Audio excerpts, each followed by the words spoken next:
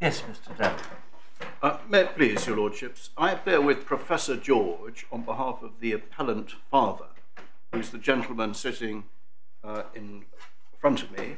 Uh, my learned friend, Mr. Tyler of King's Counsel, and Miss Allman appear on behalf of the respondent mother, who is watching this via the uh, live stream mechanism. Yes.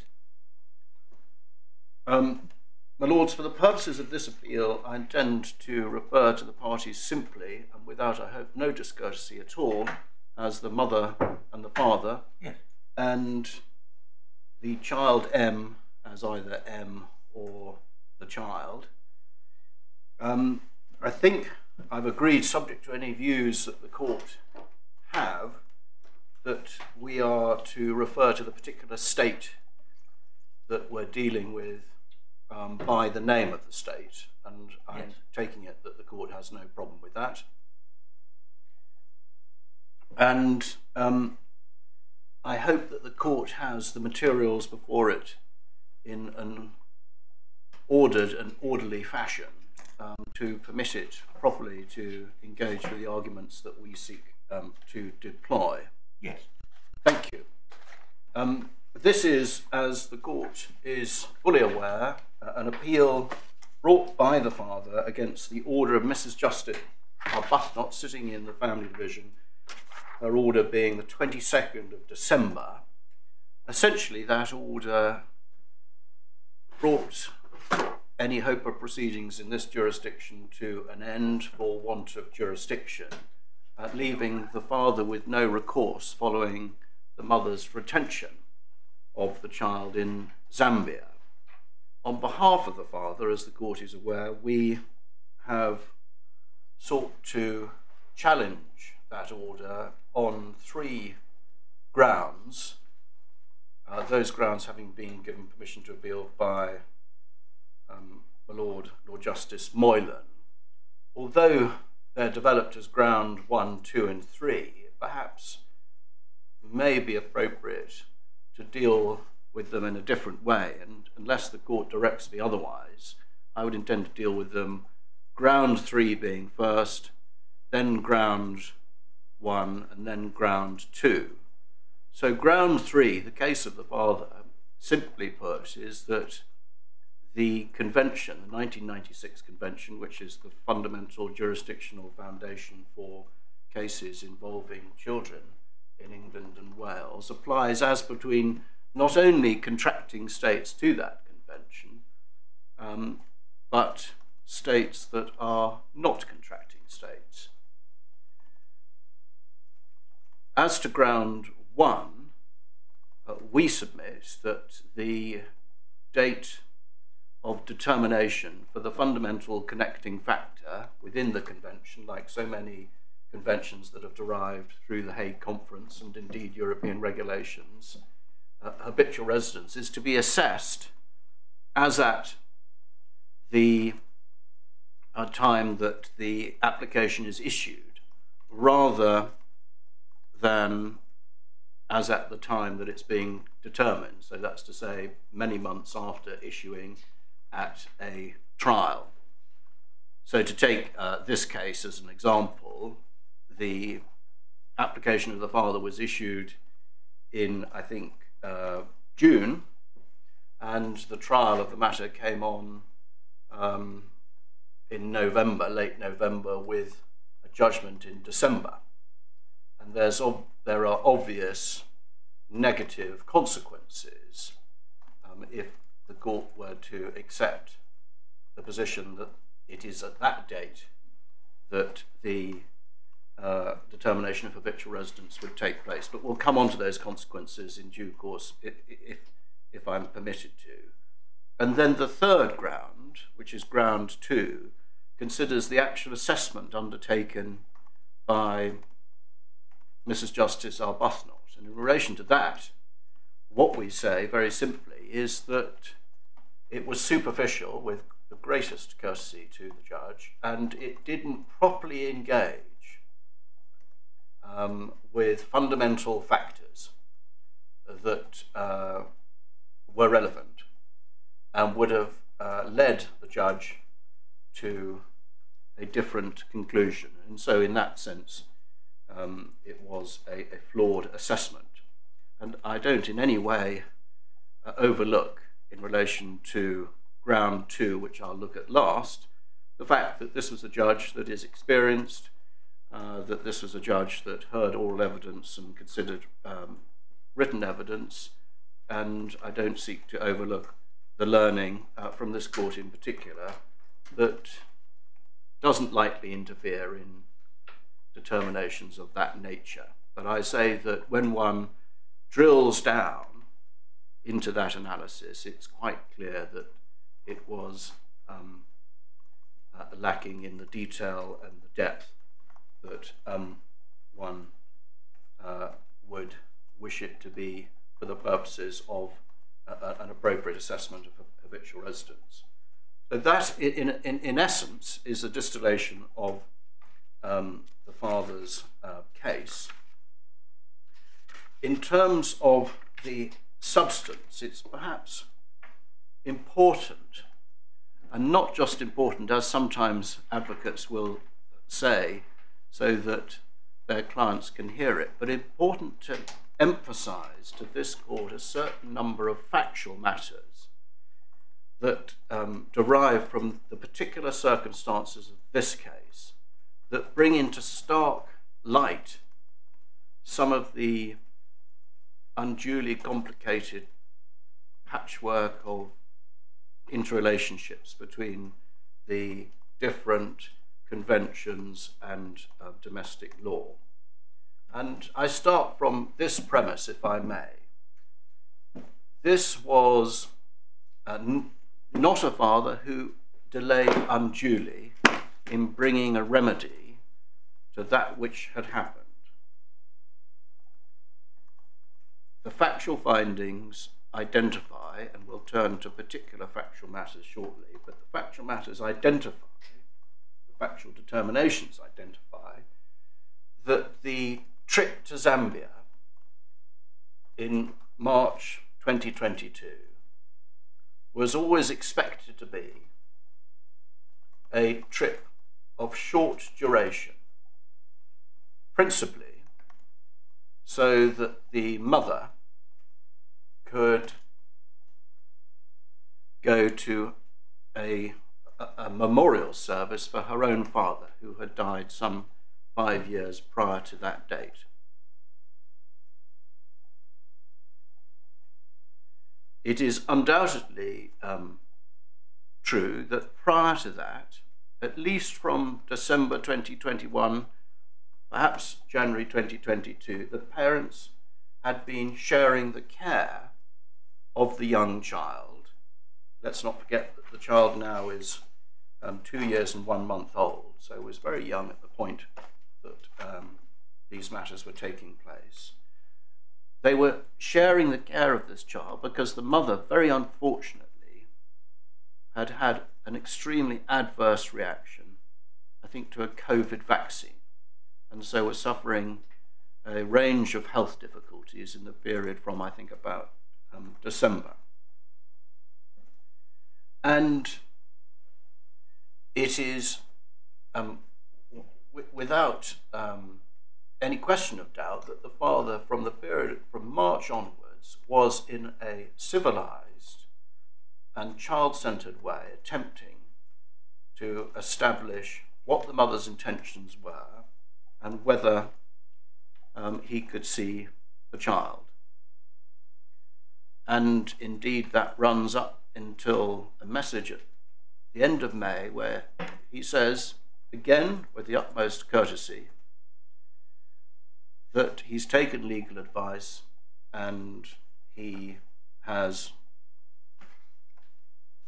um, received that legal advice and he's contemplating um, uh, taking legal proceedings.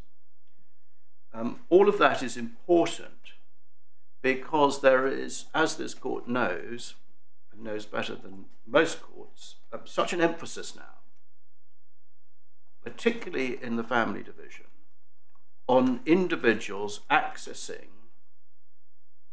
a non court means intervention. So, alternative dispute resolution, seeking um, to um, amicably settle things outside the court process.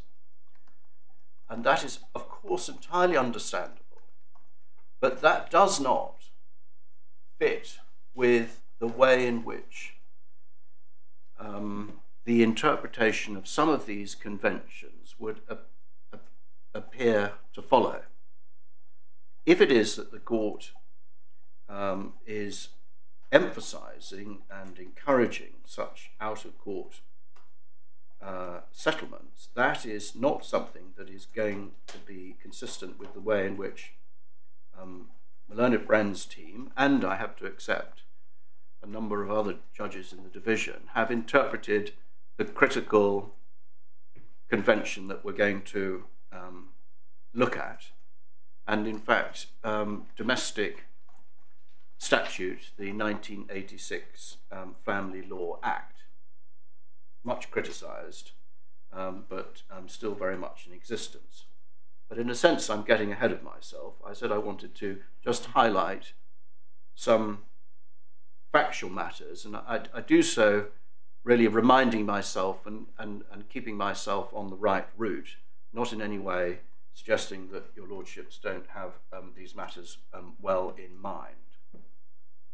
That the parents, and one can take this in quite short order, the parents, it is accepted, commenced a relationship in this country in 2016.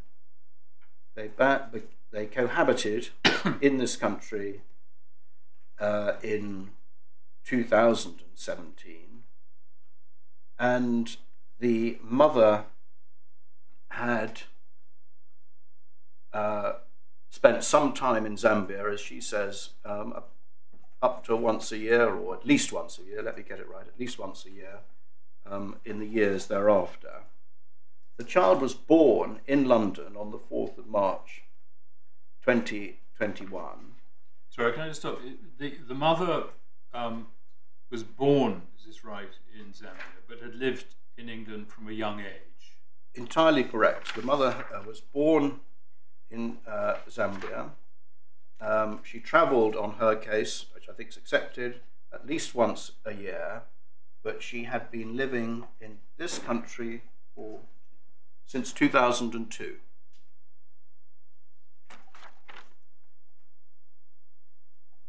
The child that then was born in um, London in on the 4th of March uh, 2021. In April, the, the family home uh, was transferred into the joint names of both the mother and the father. In October 2021, the mother and the child spent some time in Zambia, about three weeks, and then returned to the family home in November. In November, the child was christened in this country, and the parties together spent Christmas in this country. In December, the mother became ill following a COVID vaccination and therefore the father's role in the child's life greatly increased in the period from December until March. It's important, we say, to note that the mother's own mother also was living in this country, and the father's own parents are also living in this country and they were seeing the child. The mother and the father and the child and the mother's own mother then travel to Zambia on or around the 8th of March. They do so, as I've identified, to attend a memorial service for the mother's father. They travel on return tickets.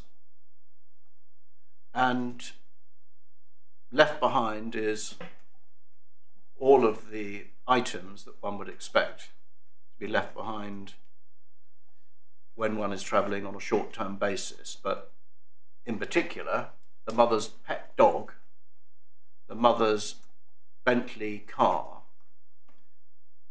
almost all of the mother's clothes, almost all of the items relating to the child, all of which were in the jointly owned family home. The father um, returned to this country because of work commitments on or around the 20th of March. The mother remained in Zambia. And there is then a, a period where the parties are exchanging messages as to intentions, which result in the father on the 23rd of May messaging the mother, indicating that he does not agree to the child being kept in Zambia.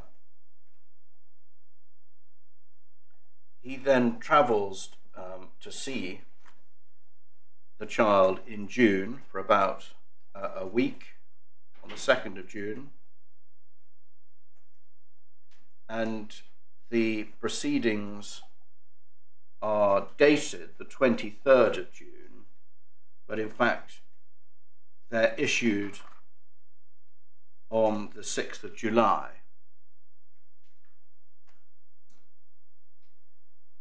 And I interpolate there that the, even the process of issuing now, particularly post COVID, has um, in some instances a delay to it.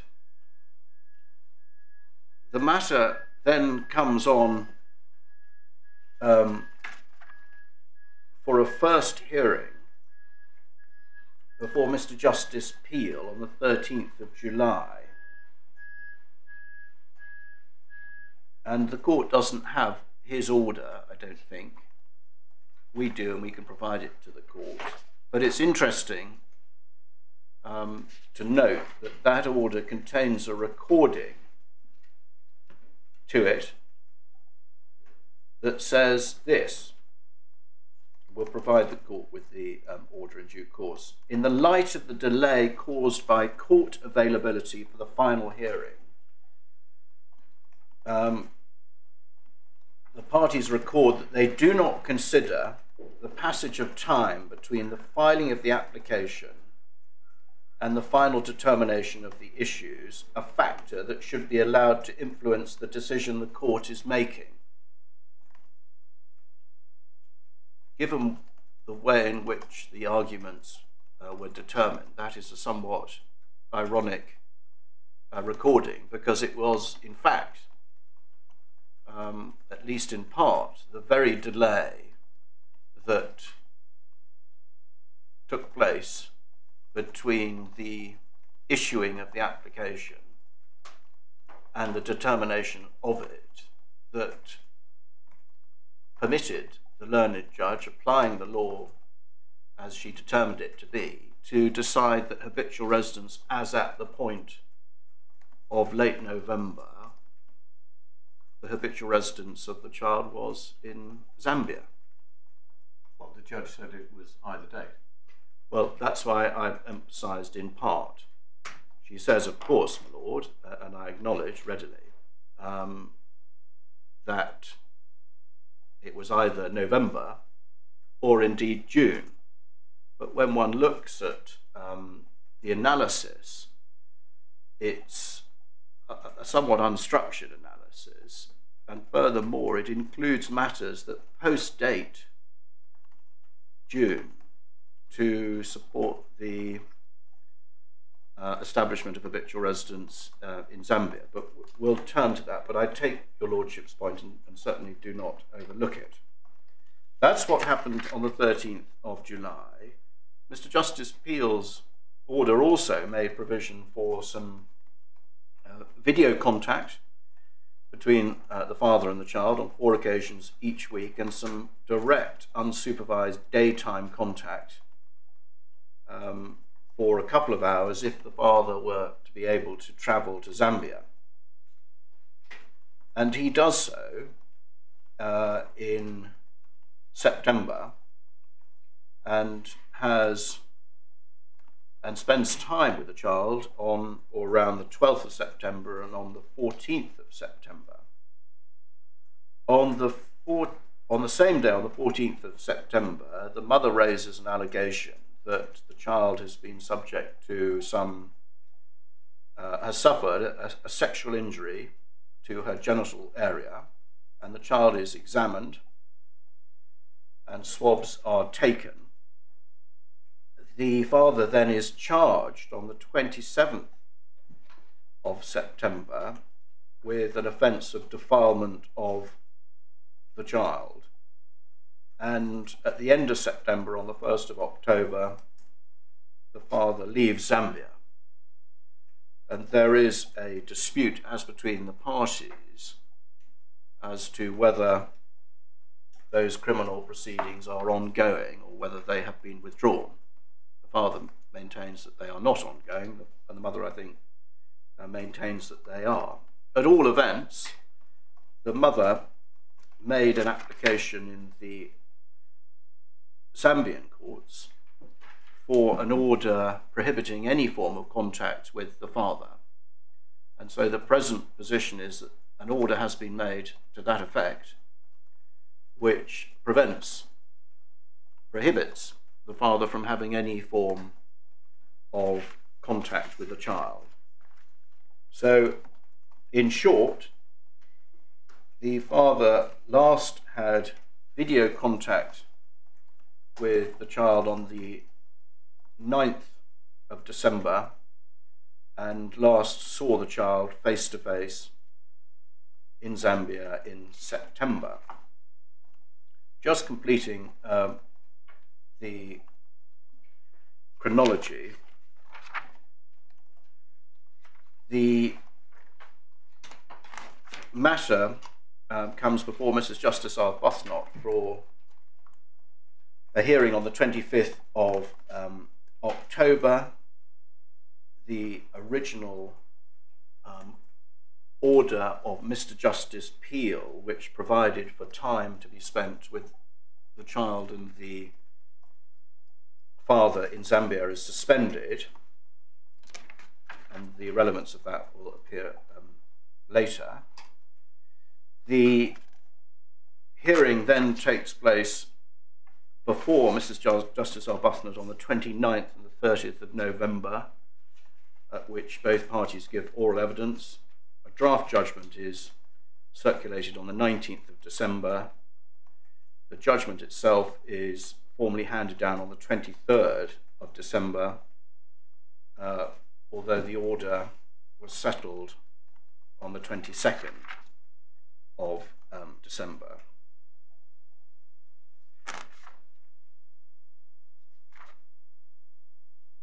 I want now, if I may, to um, deal with um, what the father was seeking, because it may impact upon the particular statutory basis that he's able to engage. Um, the court has, um, and I, I, want to apologise if, if, if, at any point I descend into unnecessary detail or it becomes too technical. Um, I, not, not so far. Well, um, there isn't a way of avoiding some level of technicality, um, uh, and at times it's difficult to, um, to tell the wood from the trees, but I, I will try my best. So, what was the father seeking? And the reason why this is important, as I say, is it may um, impact upon the particular provisions that the father is able to rely upon.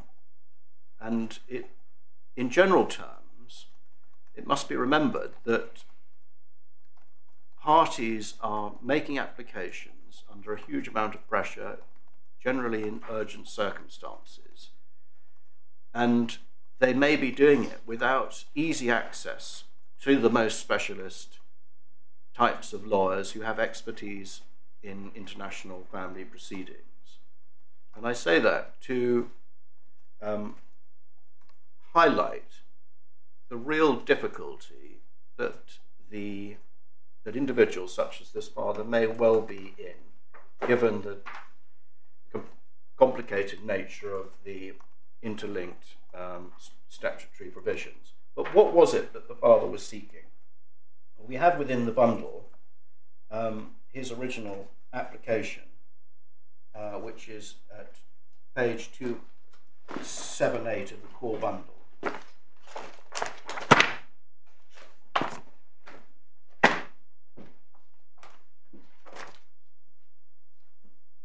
Um, this is the form C66. Obviously, for different types of proceedings, there are different types of form. And this form uh, is headed up Application for Inherent Jurisdiction Order in Relation to Children. And what the father seeks at 278 is an order for the return of uh, the child from another state. And there is within that form a short description at page 283 under the heading What do you want the court to do? The applicant father respectfully, respectfully requests that the court exercises its inherent jurisdiction to order the return of his daughter to England following her wrongful retention in Zambia by the respondent mother and then there's brief details about what the application is about, and there is a statement in support, uh, which is unfortunately doesn't follow that application, but is to be found at page 71 of, and I'm referring to the pages of the bundle rather than the electronic pages, but I can swap to electronic pages if it's better for court. But at page 71 of the core appeal bundle, there is the statement in support, and it's a relatively short statement.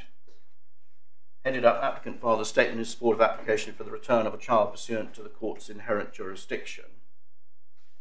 And I draw attention to paragraph 10 of that, where the father says, I therefore respectfully, and this is at page 71, I therefore respectfully request that the court makes an order pursuant to the court's inherent jurisdiction that, that the child is returned home, her country of birth, and where she has resided since birth. I believe that the ongoing wrongful retention of the child outside of the jurisdiction will be having a significant detrimental impact upon her, as our relationship will be da- damaged very quickly if we are not reunited and she's forced to be separated from me on a permanent basis. It's imperative that the child has a relationship with both her parents, and I urgently wish her, for her to be returned home. Well, what he feared has come to pass. Um, but the, the question of what the father was seeking is important when one comes to look at the basis on which the court may have jurisdiction. And this, the court may think, provides for an unfortunate and extremely complicated uh, set of consequences that the ordinary individual, or if I can be permitted to say, the ordinary lawyer grappling with such a situation, won't necessarily understand or be one might think, be expected to understand, because it appears to be thus, and I'll show this by reference in a minute to the, the particular statute and the convention. But it appears to be the situation that if one is applying for what has been previously termed a bare return order, so, an order under the inherent jurisdiction simply seeking the return of a child from a, another country, usually a non contracting state, to one of the conventions, then the basis for jurisdiction is and can only be the 19 in family cases in the 1996 Hague Convention. However, if an application is made for a bare return order, but is also accompanied by an application, for example, for a lives with order or an order that the child should see the particular person seeking their return, then it allows that person not only to rely on the jurisdiction of the 1996 Hague Convention, but in the event that jurisdiction is not provided for by that convention, to rely on the terms of the domestic law, that's to say, section 11D of the Family Law Act and section 2 and section 3. So um, that is a matter of some importance in terms of what you put on the application. But what you're seeking is essentially the same, but you may be penalised, an individual, a litigant may be penalised if, for whatever reason, and it often won't be their own fault, they do not seek to um, accompany their bare return order application with an application that domestically they want to spend time with the child or have the child to live um, with, with them. That's the general explanation, but in the somewhat um, unlocated terms that I put it, it may be a little bit difficult to follow, but I want to um, show you, if I may, the basis on which that result takes place. But you may say, well, why in fact does that matter? Why should it matter that um, an individual can, in one instance can only apply, can only rely on the 1996 Convention for jurisdiction, but in another instance can rely on the 96 Convention and the Family um, Law Act. It matters because the date of the assessment of habitual residence is potentially different.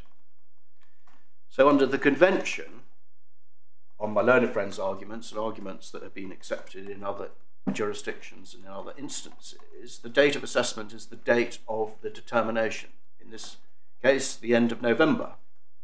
But under the Family Law Act, the date of assessment of habitual residence is the date of the issuing of the application. So those who have um, the ability to rely on the Family Law Act get an advantage because the effluxion of time may not run against them. This is um, perhaps best uh, illustrated by looking actually at, finally, the Convention and the Family Law Act, and we have that within the um, bundle of authorities and other materials. Um, the the Family Law Act is at page begins at page one of the bundle of authorities.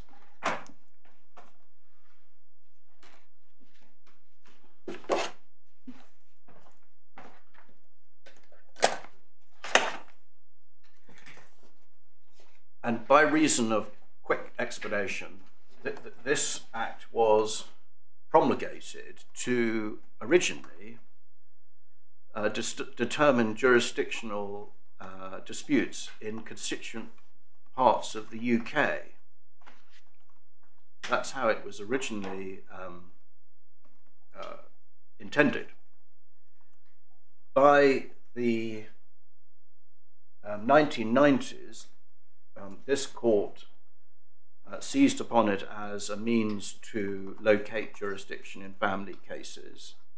And then, with the advent of the harmonization of European law in the um,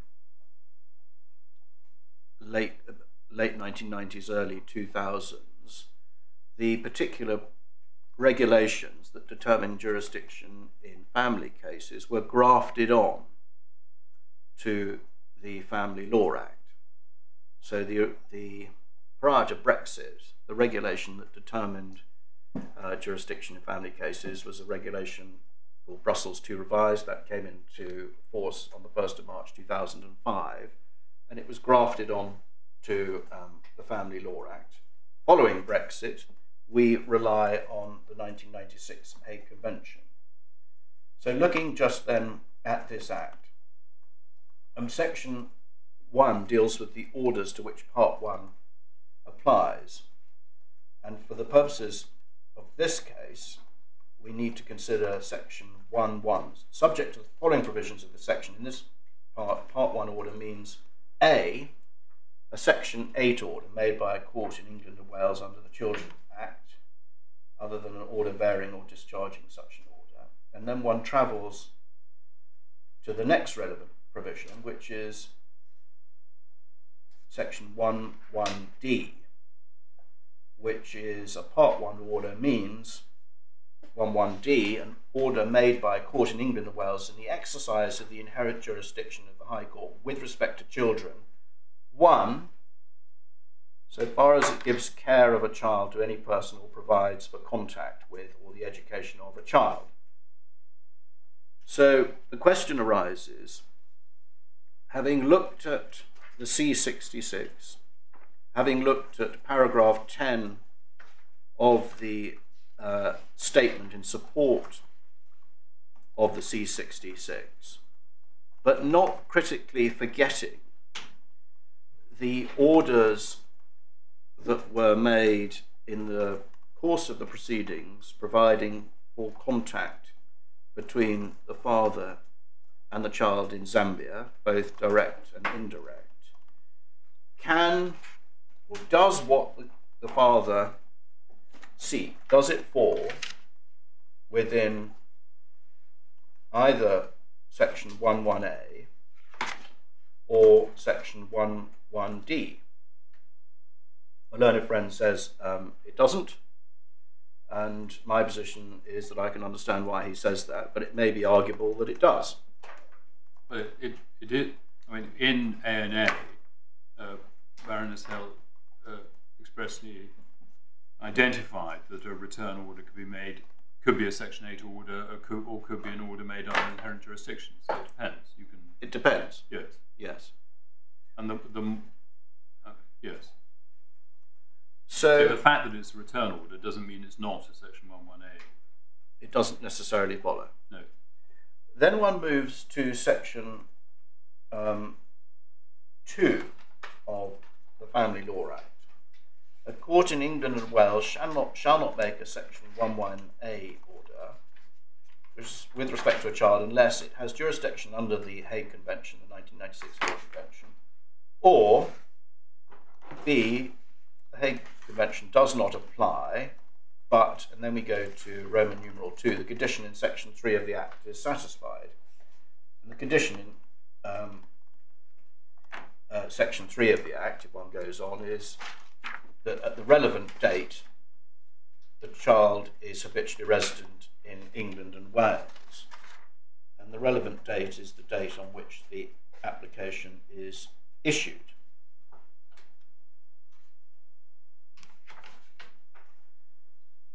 Then, so much then for the Family Law Act. If one then um, moves to, Can I just go back to w- 2 1B?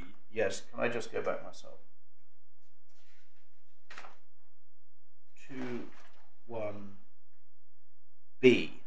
So first, or maybe 218, that you you can't make a Section 11A order unless you have jurisdiction under the provisions of the Hague Convention. Yes, Uh, 2 1B says the Hague Convention does not apply, yeah, and I take that to mean does not apply in the sense of establishing jurisdiction.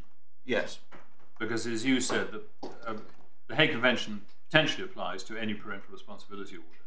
It doesn't distinguish between inherent jurisdiction or because it, it's not concerned with that. yes. So, do we sort of read into 2 1b the Hague Convention does not apply, or, or the court does not have jurisdiction under the Hague Convention. It must be the same.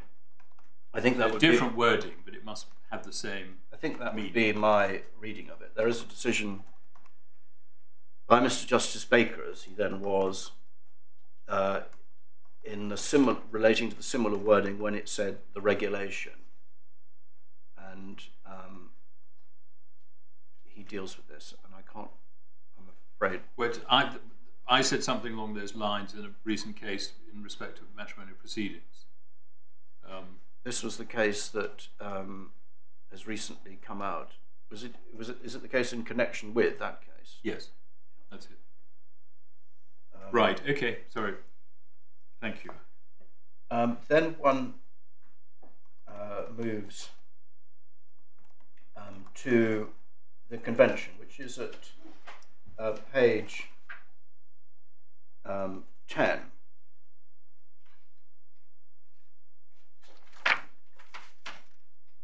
And uh, this follows the usual structure of uh, the Hague Conference conventions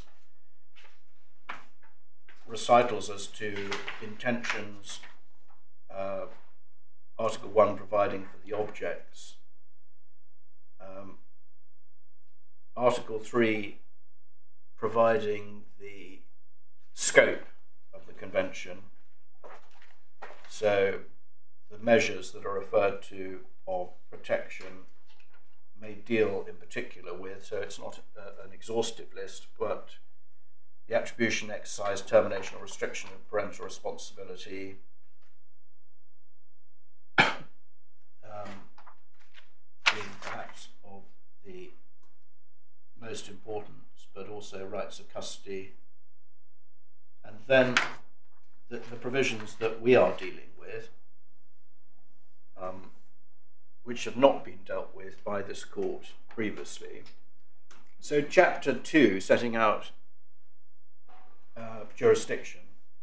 Again, the chapters uh, of the convention needing to be read as a whole, jurisdiction coming before applicable law, which was something of a novelty in the family law sphere, and then recognition and, enforcement, which wasn't.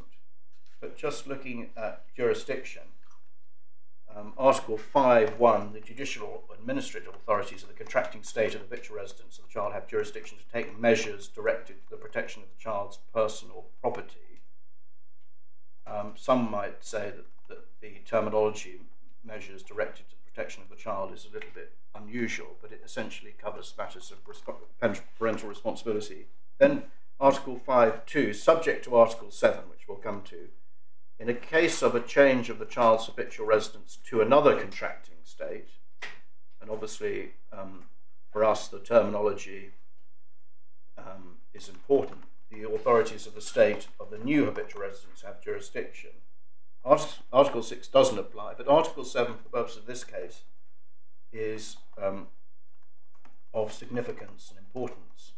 In case of wrongful removal or retention of the child, the authorities of the contracting state in which the child was habitually resident immediately before the removal or retention keep their jurisdiction until the child has acquired a habitual residence in another state.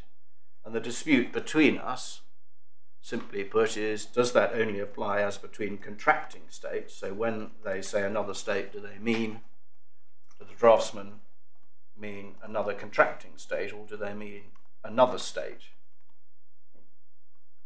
and and then it goes on uh, to say that the jurisdiction is kept until certain defined matters have taken place, which are set out at um, A and B. And then my learned friends and the judge pay particular attention to and uh, emphasize Article 7 3, which says so long as the authorities first mentioned in paragraph 1 keep their jurisdiction, the authorities of the contracting state to which the child has been removed or in which he or she has been retained can take only such urgent measures under Article 11 as are necessary for the protection of the personal property of the child. Well, Article 11 one can go to, and it permits uh, contracting states in cases, all cases of urgency, um, to take any necessary measures um, in the event that there is child or property belonging to the child being present in that state. And obviously, the intention is pretty clear from Article 7, which is to ensure that no one has a jurisdictional advantage when they remove or retain a child unlawfully.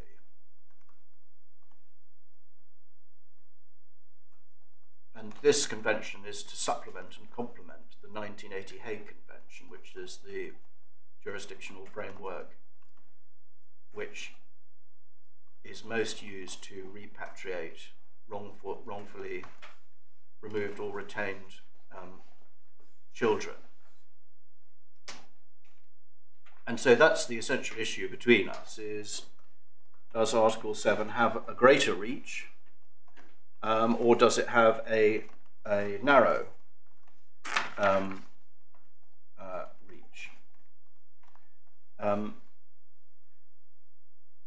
but it's clear that the the relief that the father seeks would fall within the terms of the convention, and it's clear that if Article 5 doesn't apply, then an individual subject to this court's decision would be able to rely in certain circumstances on Article 7. So that is just a, a, a, quick look, and I'm going to return to the convention um, uh, later, but it's a quick look at it. Um, but before I do so, I, I do want to just um, emphasize some factual findings made by Mrs. Justice Arbuthnot. Is it worth looking at Article 13? While we're it is.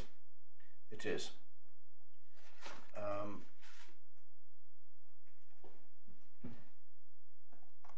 so here the the scheme continues and uh, again makes reference to the authorities of a contracting state which have the jurisdiction under Articles 5 to 10, which obviously includes Article 7.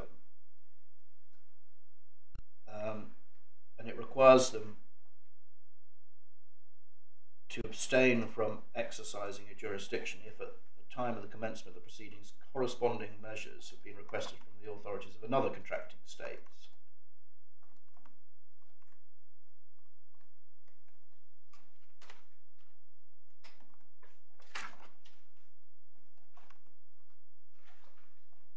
And we'll probably look at the Lagarde report, which is the explanatory report on um, these provisions unfortunately, and, and uh, this is perhaps just my own fault, but it's a points rather opaque.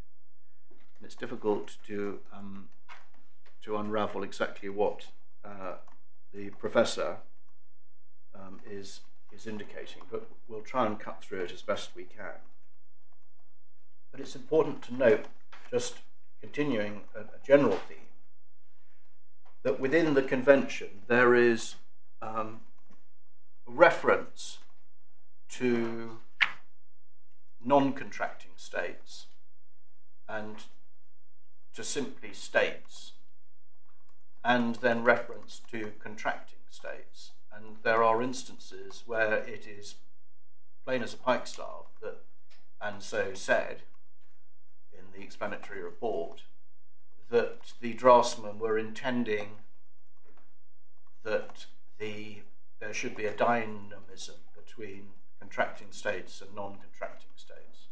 So to give one example, I mean it's, it's a small example, but there are lots of them.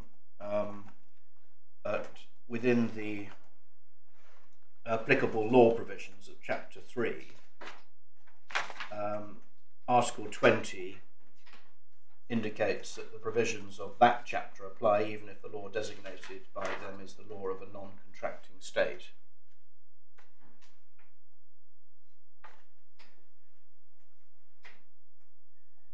Um, can I just, though, before returning to the meat of the, the legal argument, emphasize with reference to certain parts of the judgment, and that requires us to go to the core uh, appeal bundle and just um, pick out some aspects of the judgment. The judgment's at uh, page 37. And the findings are set out in particular paragraphs from paragraph 43 um, onwards.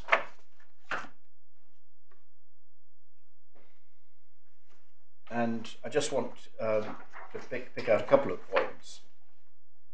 Uh, paragraph 50, the judge found that despite the mother's evidence, uh, which included written and oral evidence, the father did not consent to a permanent move of the child to Zambia. Um, she went on, the judge, however, to um, find in the same paragraph that st- the stability and integration of the child in life in Zambia outweighed a lack of consent. And her, her conclusion as to habitual residence is set out at paragraph 51, which is that the father's, at the point, and this is the point uh, that the Lord made, the point of the father's application to this court in June and well before the hearing in November, she states, I find it clear that this young child achieved some degree of integration in a social and family environment in Zambia. She goes on um, uh, paragraph 52 to deal with some further findings, but she puts them under the heading of consent. And one of the criticisms that I'm going to make going down the line is that she silos her analysis. But I'm, I'm not going to um, develop those unless I'm required to at this point. Just one point. The paragraph 51, and the judge comes back to it later on, the issue of habitual residence. But um, when she says, I find it clear this young child had achieved some degree of integration, on one reading, it looks as though the judge is saying that's the test for habitual residence. Well, that is, I think, what she is saying. Right. Wh- What other reading could there be? I, and I don't mean that in any way discourteously, but it's it's uh, at the end of her analysis on habitual residence, and it's a quotation, and it sort of wraps it up. But that isn't the test for habitual residence. That's a feature of it, it's not the test. Well, uh, my, my lord's anticipating one Sorry, of my okay, criticisms, um, rather typically your head, um, but exactly exactly so. But your submission is, and you're coming back to it, that that that, that you you say the only uh, sensible reading of it is the judge considers that the words in uh, parentheses are, or the words in italics, uh, in inverted commas, are the um, the test to be applied for the purposes of determining habitual residence. Uh, that seems to be uh, almost. Well, I don't. I don't want to overstate it because that's not an, an appropriate piece of advocacy. But it seems to be um, exactly what she she thinks because it comes at the end of her analysis on habitual residence, and if you like, it wraps it up. And that is one of the errors that we we we, we indicate that she fell into. Uh, uh, another error, which I just trail but don't develop, is the siloing of her analysis. Because what she does in, in my submission is to wrap up her analysis on habitual residence at paragraph 51 with that uh, conclusive uh, apparent quotation as her direction. But then she moves on to a separate set of findings which she describes as under the heading consent. But that is directly related, my lords, to her analysis of Article 7 of the Convention, because if the father had consented, then he wouldn't be able to rely on Article 7 because it wouldn't be a wrongful removal or retention. And so our argument goes, and will be developed in this way, that the analysis that takes place after paragraph 52 is a perfectly legitimate analysis, but it contains all sorts of material and findings that properly should have been included in the equation, the habitual residence assessment and equation, and the balancing exercise that's required uh, within such an assessment, but they're not. They're, if you like, vacuum packed in the paragraphs um, outside paragraphs 43 to 51. And anticipating a response from the court, it's not good enough to say, as sometimes one's able to say, look, well, we've got to read the judgment um, as a whole. Uh, this is an experienced judge. This is the sort of assessment that she um, may be used to doing. My response to that is well, actually, looking at the structure and the analysis, that doesn't hold weight because she's made her conclusion at paragraph 51. She's then, if you like, turned off the habitual residence road and she's running down the Article 7, she's driving down the Article 7 consent road, and the material that is relevant that should have travelled down the first road never goes down that road because she's concluded her analysis.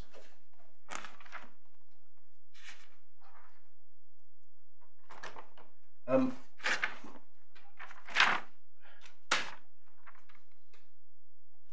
uh, just finishing then the, the, the, points as to factual um, findings. Uh,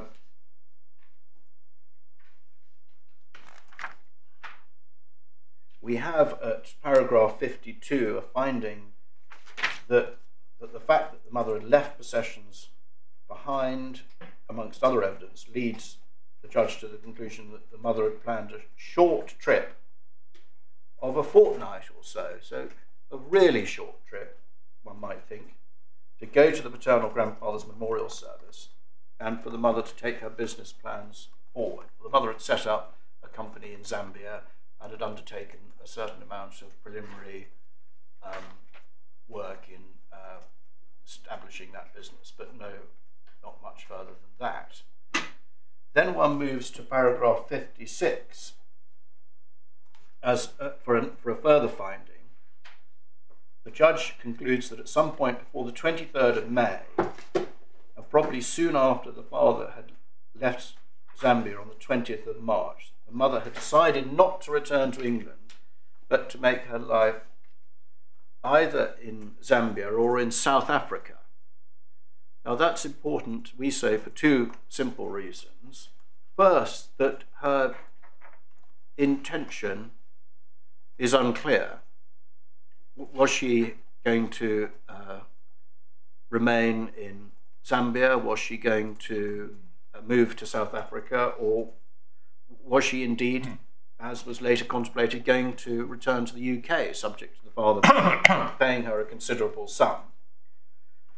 The second uh, point of relevance in relation to that observation, that finding of 56, paragraph 56, is that she makes she changes her mind pretty shortly after the father leaves and she doesn't communicate that to him. And then at paragraph 75 a further finding which is that the father did not acquiesce um, to the child's retention Zambia, he did not clearly and unequivocally show that he was not going to assert his right to the return of the child. And paragraph 76, I find that the father was trying to compromise matters with the mother because she was vulnerable and been ill. She was Zambian, and he was hoping that if he agreed to her remaining there on a temporary basis, that his contact with the child would take place, and that she would eventually return to England in the way she had before. So this was a, a gentleman, a father, who was doing everything he could, having regard to the mother's vulnerability, and having regard to not wanting um, to do anything that would um, separate him from uh, his daughter, and was making all sorts of compromises and, in, and engaging with the mother about what should happen. Morally, if I, I don't seek to major on that in any respect, but he was doing everything that a caring and intelligent father would do. And yet, and again, I don't want to overstate this, that he's penalized for adopting that approach. He's penalized because the law apparently um, doesn't give him a remedy once that period of seeking an amicable and child focused settlement comes to an end. And if the law remains as it is, then potentially it provides a greater encouragement for litigants not to cooperate prior to taking proceedings, but to, to issue with as much speed and force as is possible.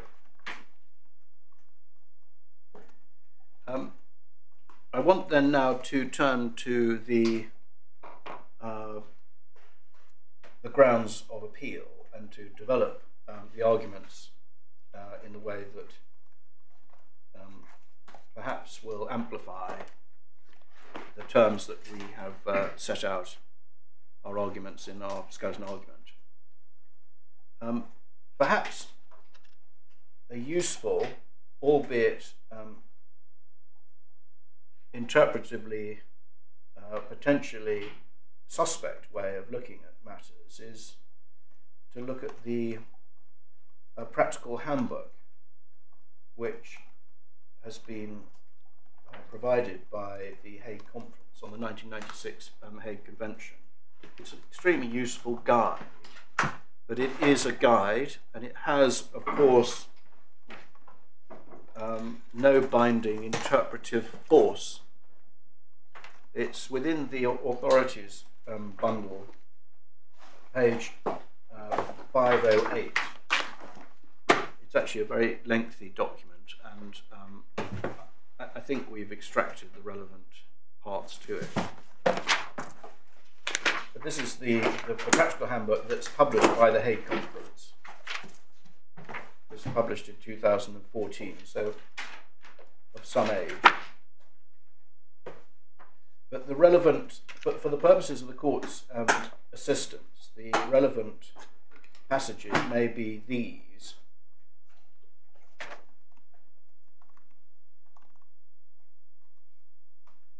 Um,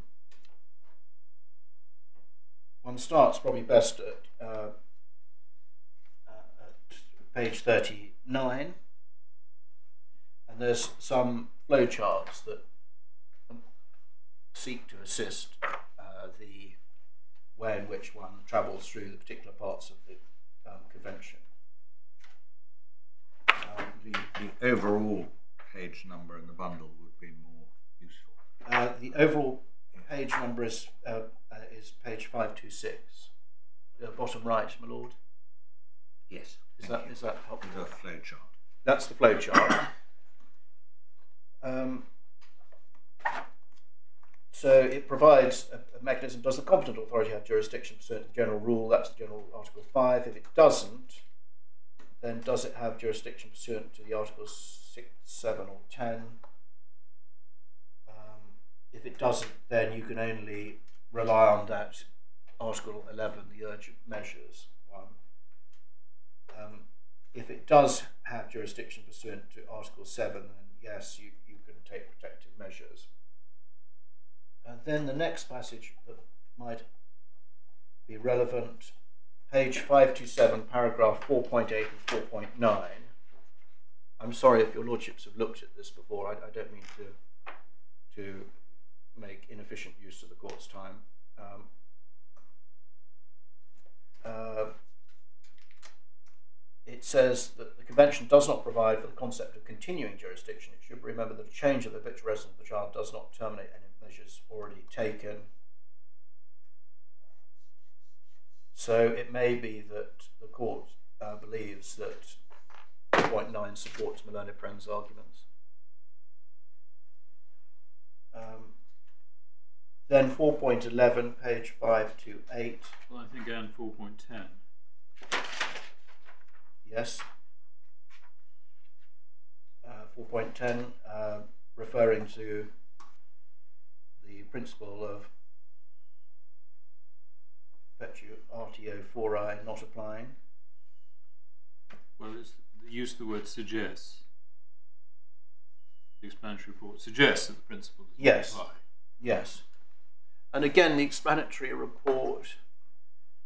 Um, I mean, it's. Pl- I, th- I think it would uh, be, and I've got to remind myself what Mrs. Justice Lieven says in, in her in the case where she decided it. But I, I generally speaking, explanatory reports are part of the travaux, and uh, so are aids to interpretation. But I need to I need to remind Yes. myself. But what 4.10 says is the explanatory report suggests the principle doesn't apply, and then where it does occur, in other words, where the child's habitual residence occurs, consideration might be given to use of the transfer of jurisdiction provision, Yes, which which obviously don't apply in cases which involve a non-contractual. well, don't apply in ca- cases, but also suggests that jurisdiction is not automatically lost, Yeah, it, because otherwise you wouldn't need to uh, give consideration to the use of the transfer of jurisdiction provisions. And so, if that is what applies, it places in the court the decision of whether or not jurisdiction should actually transfer, yes, because the other court is better placed to Yes. make the decision. yes, So that, I mean, it's just one sentence in, a, as you say, a very, very long guide, but it, it's, it's, 4.10 doesn't, um, it doesn't. It's not. It's not middle stump to. it, My learned friend. It, it doesn't make it clear that you lose jurisdiction No, if doesn't. you're already seized of proceedings.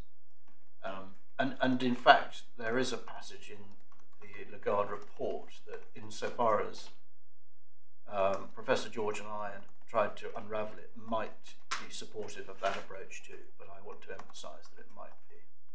It's very difficult to unravel, but we'll we'll, we'll try and unravel it later.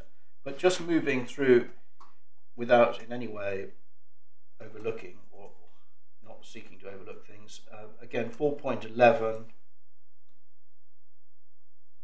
Uh, it records that if a child's habitual residence changes from a contracting state to a non-contracting state during the proceedings, the principle of perpetuatio fori also does not apply. But it goes on to say, however, Article 5 of the Convention will cease to be applicable from the time of the date, the time of the change of the child's habitual residence. Nothing, therefore, stands in the way of retention of jurisdiction by the authorities of the contracting state under their non convention rules, which might be thought to be the Family Law Act in our case. However, it's important to remember that in this scenario, other contracting states will not be bound by the convention to recognise the measures. Then we get on to the exceptions to the general rule, and um, relevant here is 4.20, which deals with jurisdiction in cases of international child abduction and Article 7 in particular. Um, there it gives the intention behind Article 7. It's a deterrent to which seeks to deny any, forgive me, at page 529. It's a deterrent to deny any jurisdictional benefit to the abducting party. 4.21 indicates the definition of wrongful removal or retention is the same as found in the other convention. And then 4.22 breaks up the conditions by which jurisdiction can change and vest in the authorities of the state to which the child was wrongfully removed. And again, even within this report, it doesn't use the word contracting state. Within this handbook, forgive me.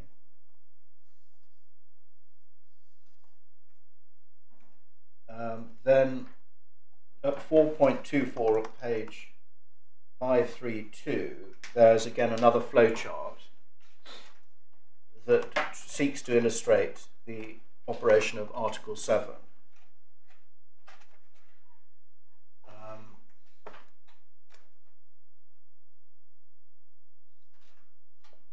again, it doesn't talk about um, uh, contracting states, it just simply says the state of the child's new habitual residence.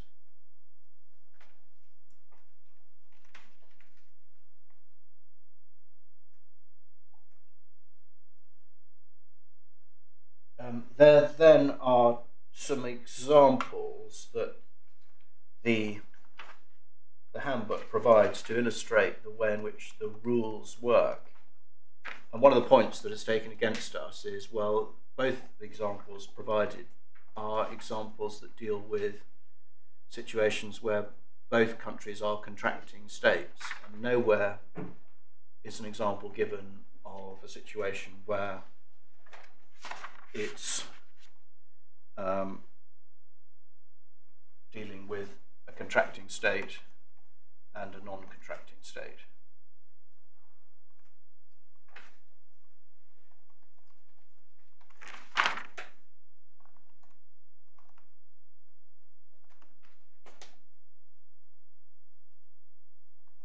What um, it says in four um, eleven is where the child's habitual residence changes from a contracting state to a non-contracting state, then you fall outside the um, scope of Article Five. Yes. Um, in respect of um, Article 7, it says that the authority of the contracting state of the habitual residence of the child immediately before the wrongful retention or removal retain jurisdiction. But you still have to invoke that jurisdiction. So it's a theoretical jurisdiction until it's invoked. So, is it the date on which you commence proceedings? Um, even in, in a case to which Article 7 applies? Well, it, it, it probably must be, must it? Well, it's isn't it the date? I've got to think this through, and I'm thinking on my feet, which is always dangerous um, to do in front of um, the Court of Appeal. Um, Perhaps come back to it when we've looked through the. I mean, the, the, the wording is in similar terms as to Article 10, and so what you're looking at is the position prior to the wrongful removal or retention. Yes. So in this case, the wrongful removal, it's a wrongful retention because the court has determined that shortly after the father left on the 20th of March, the mother decided not to return. So that's the point at which you crystallize a retention. Is it? Well, Does the judge actually identify when the wrongful retention took place? no, but, it, it, but, but what we're told uh, by the Supreme Court in relation to retentions is that it's an intention Manifest. manifested by certain acts. Yes. So she's identified the intention. What are the acts? Well, the acts are her seeking to employ people, Right, buying okay. um, stuff for the nursery, um, not. Uh, Anyway, the judge doesn't identify the date when the wrongful retention took place. she doesn't. But let's Okay. let's just moving forward with that. Just this hypothesis. If that, if I'm right, then the retention is at some point shortly after the father goes on the 20th of March, and that the court will then look at habitual residence prior to that point.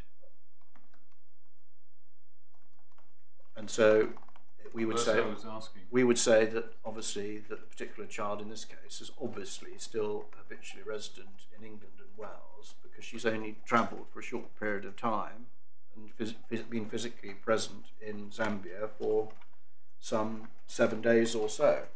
I think that's the way that I would answer the question.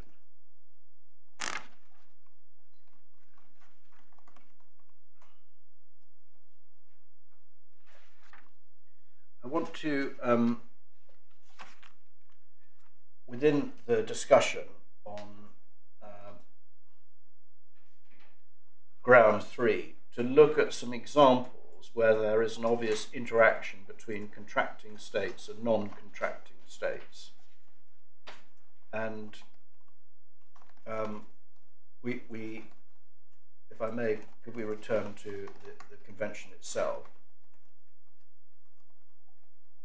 We've looked at some already, um, but just returning to it, the obvious places perhaps are Article 11 of the Convention, 11.3. Article 11 obviously deals with cases of urgency. Article 11.3 says the measures taken under paragraph 1 with regard to a child who is a habitual resident in a non-contracting state shall lapse in each contracting state as soon as measures required by the situation and taken by the authorities of another state are recognised in the contracting state in question. There's an example within the confines of the convention of there being specific reference and an effect relating to a non-contracting state. We looked at Article 15.2 and Article 20 already. Article 16 also deals um, under the applicable law chapter. This is page 14 of the authorities bundle. When it says the attribution or extinction of parental responsibility by operation of law without the intervention of a judicial or administrative authority is governed by the law of the state of the habitual residence of the child. The law of the state of the habitual residence of the child includes both contracting states and non contracting states. And then finally, a reference that I made earlier, Article 36, page 17 of the um, Convention, provides in any case where the child is exposed to a serious danger, the competent authorities of the contracting state where measures for the protection of the child have been taken or are under consideration if they are informed that the child's residence has changed to or that the child is present in another member state, shall inform the authorities of that other state about the danger involved and the measures taken or under consideration. If one looks at the Lagarde report, we don't need to go through it, but it's at paragraph 150, page 595 of the authorities bundle, it's clear that that uh, was a provision that was intended to apply as between a contracting state and a non-contracting state. So, simply put, without overstating it, there is a plain dynamism between certain provisions within the convention and non-contracting states.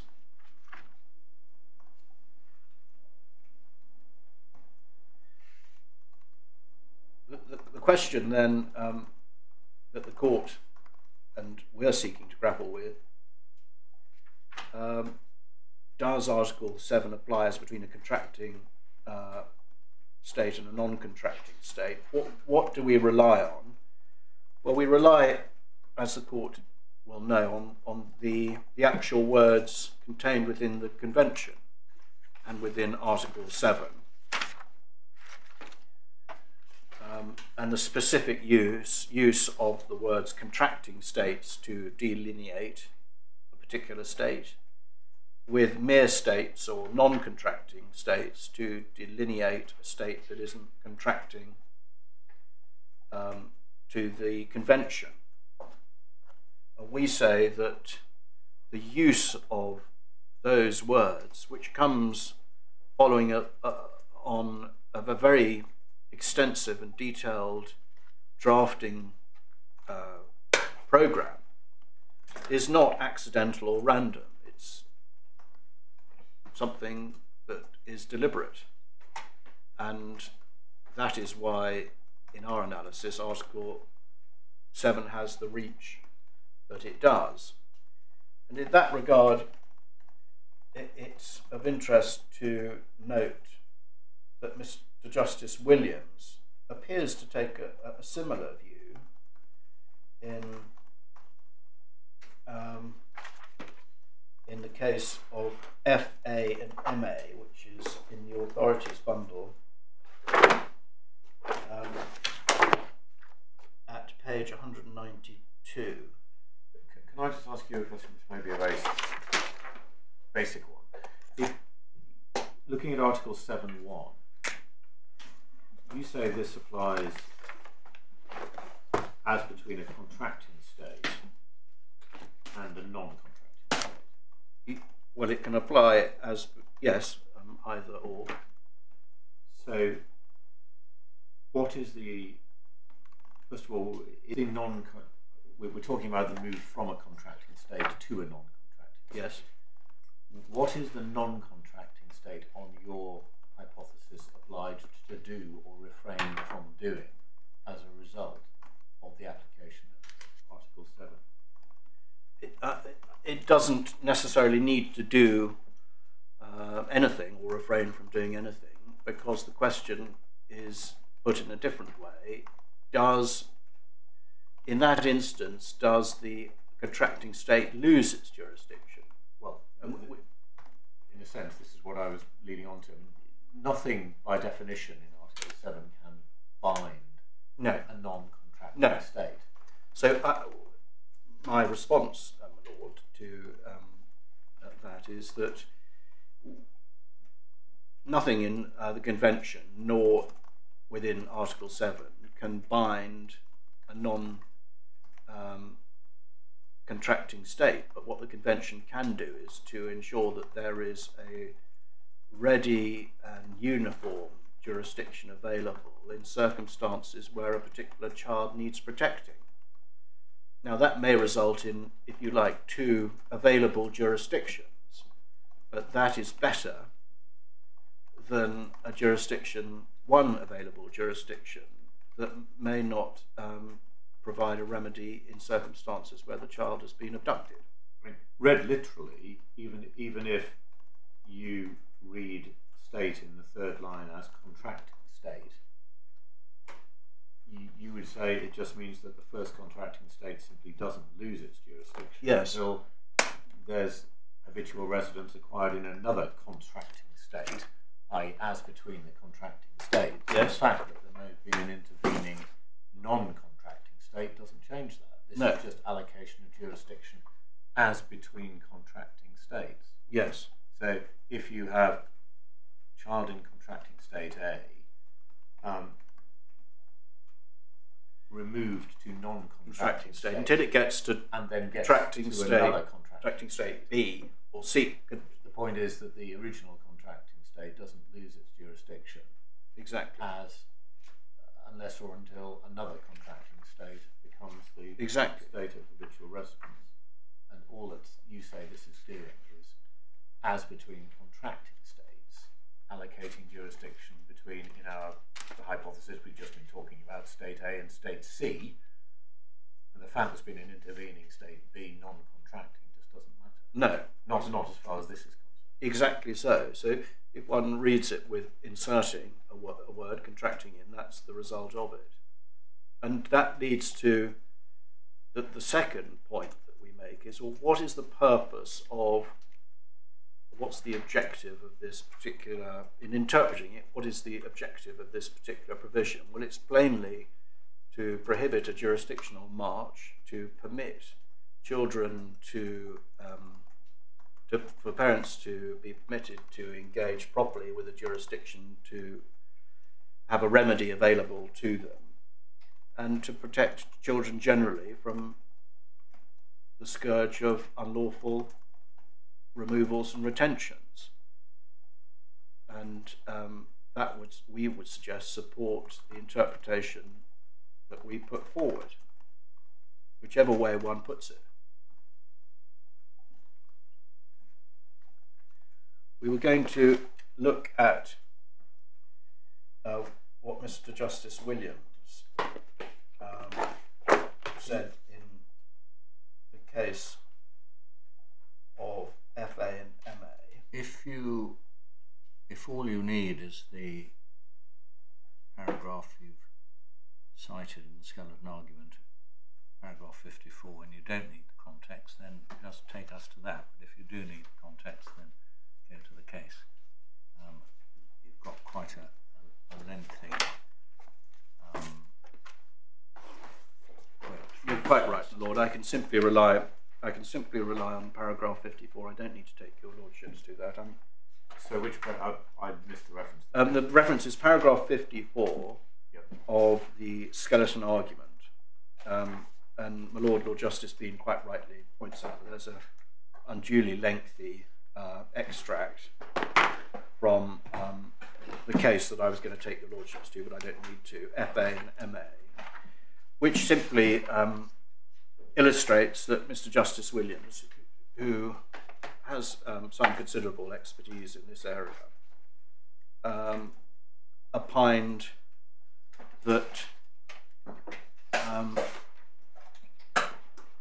Article 7 could be, uh, on a literal reading of the words, applied as between a contracting state or a non contracting state. And that's simply his observations. Um, now, my learned friend's response, which I, I, I might as well deal with now, is well, one of the responses, I don't seek to diminish the quality or the quantity of them, but one of them is, well, um, you may be right as to the uh, use of um, the wording, but in the subsequent regulation, which had its inspiration from the 1996 convention, in the subsequent family regulation, which is called Brussels II revised, there was an equivalent provision, which is called Article 10. And the provision essentially provided for the same residual or retention of jurisdiction as between a regulation state, and the question mark was to a was it to another member state or was it to a non-member state? And the, this court found in a case called Re-H that it had the import of an interpretation that we submit in relation to Article 7, but the Court of Justice in relation to the regulation said no, it's only as between member states. That's one of the points that are taken against us um, in the interpretation that I'm presenting to the court. Uh, essentially, it's the it's the the very point that we've been discussing was the way in which this court decided it. Lady Justice Black, as she then was, decided it. But then the Court of Justice of the European Union said that the regulation provision only applied as between uh, member states. But in support of our interpretation, therefore, we rely on the, the, the, the words contained within the convention. Um, we rely on the fact that the convention expressly engages at different provisions with non contracting states. We rely on the objectives and purpose of the convention to protect the best interests of children in relation to wrongful removals and retentions, to deter child abductions, to ensure, as I've said, um, that individuals don't steal a jurisdictional march, don't get provided with a jurisdictional advantage, which in this case is this case is a is a is a pretty clear um, indication. Um, for example, uh, the father's uh, ability to engage with the Zambian courts may be prejudiced by any potential criminal sanction that he may or may not be facing. But we also um, rely on in support of our interpretation, some uh, first instance decisions, but particularly um, the first instance decision of Mr. Justice MacDonald in a case called London Borough of Hackney and P. And I think I will have to take your lordships to this one, albeit pretty briefly. But what we say um, before we go to it is that this is a, a very careful analysis by uh, Mr. Justice MacDonald, but in the context of consideration of Article 5, so the general rule, I can describe it like that, and um, his essential conclusion was that the 1996 Hague Convention is the first port of call, in the same way that the regulation was prior to Brexit, um, for cases concerning parental responsibility. And it was the first port of call, irrespective of whether, for example, that the child is present in a non contracting state. We go on to say that his analysis can be imported by analogy um, into supporting our interpretation because his analysis, albeit that it's directed to Article 5, it falls within Chapter 2, so the jurisdictional framework chapter, and therefore should apply, if it applies as to Article 5, it should apply mutatis mutandis in relation to Article 7. But the, it's a very lengthy judgment, and I simply just want to highlight some passages without um, uh, having to read them out or in, in any way to, um, to delay unduly. But it's, um, it's an important uh, analysis, and it starts um, at page One, two, two. two, one, two, two. Um, thank you very much of the um, authorities bundle. So in this um, instance, in this case, the applications were for a public or public law order, a care order, but also an application for an order for the summary return to Tunisia under the inherent jurisdiction of the High Court. For the purposes of the argument that I seek to mount with Professor George, we uh, direct the court to paragraph 2, page 126, which illustrates the applications that before the court and the issues that the court with which the court was engaged. So, does the paragraph 3, Roman 1, does the jurisdictional scheme under chapter 2 of the Hague Convention apply to care proceedings? And if so, does it apply to those proceedings, notwithstanding this case involves a non convention state? Um,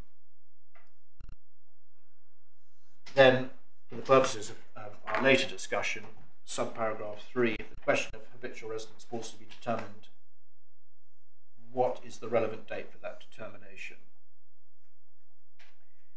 And then the, the, the passages that we seek to rely upon are at page 153 to start.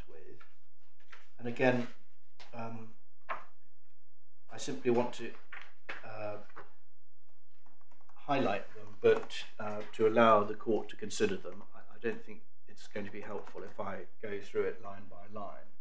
But we rely on paragraph 67 to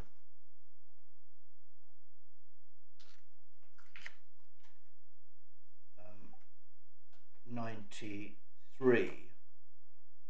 But in particular, I do want to just highlight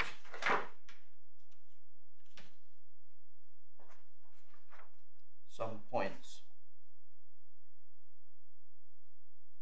Um, page 155, paragraph 72.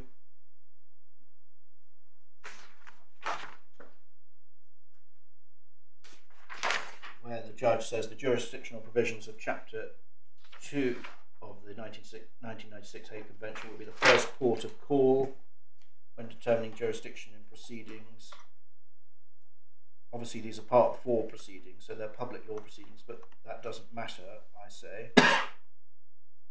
Um, and that's shown by paragraph 75, page 156, where the judge identifies a care order plainly concerns the attribution, exercise, and restriction of parental responsibility. Um,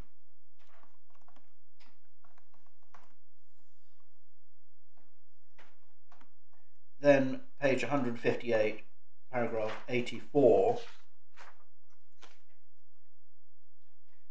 a reference to the Supreme Court decision of ANA, but in the context of Brussels 2A. The judge goes on to say there was nothing in the terms of the provisions of Chapter 2 of Brussels 2A governing attribution of jurisdiction that prevented their operation in a case involving a non member state. He goes on, paragraph 85, to say within this context, a survey of the overall structure of the 1996 Hague Convention demonstrate, demonstrates that it too draws a clear distinction between the position in a contracting state and the position as between contracting states.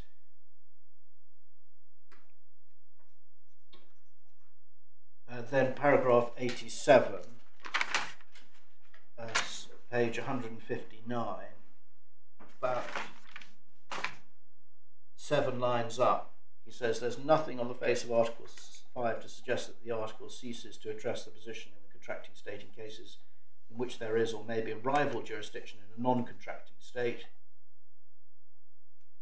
Article 5.1 does not expressly exclude the attribution of jurisdiction to contracting state based on habitual residence simply because there is or may be a rival jurisdiction in a non contracting state, nor does Article 5.1 imply that this is the position.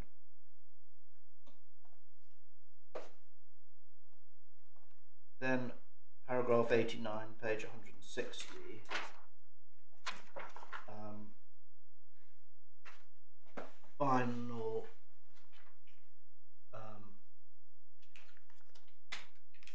9 within this context in my judgment there's nothing in either article 11.3 or article 12.3 that either expressly or by implication limits the operation of article 5.1 to cases in which the rival jurisdiction is a contracting state.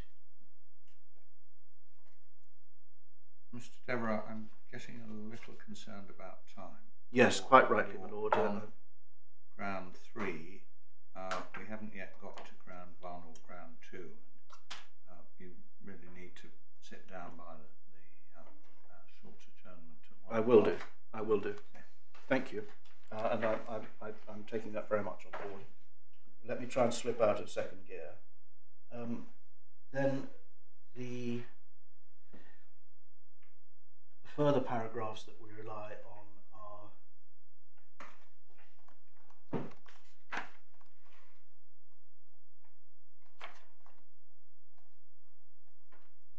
uh, paragraph 92 at page 5 uh, at page 161. Um, I also then want to refer the court to two further passages, just including submissions on ground three. Um, the first is the case, a passage in the case of H and R, um, which is page 217.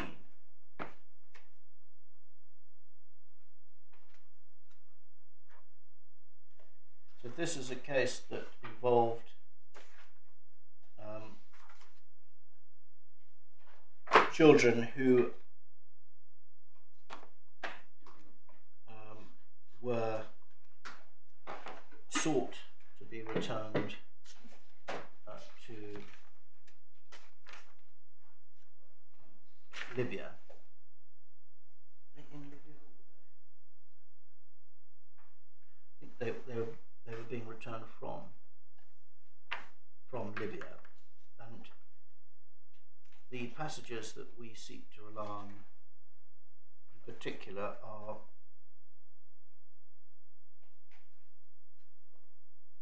the discussion that the judge has at two, at page 224, paragraphs 23, which deals with um, some of the points that uh, I made earlier about the nature of the application.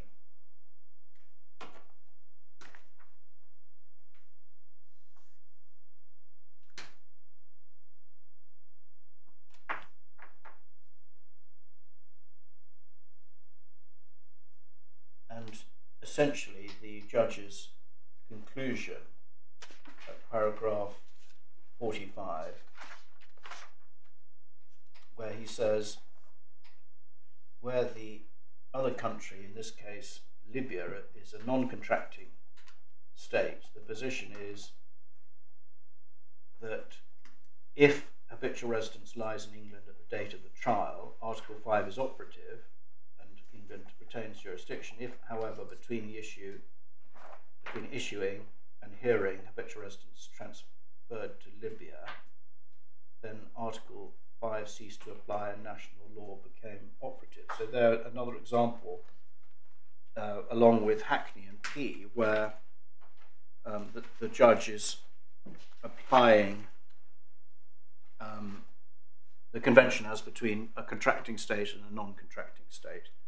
And finally, in relation to um, ground three, I want to um, just refer the court to a section of the Lagarde report, the explanatory report, um, which is at page 541. But in particular,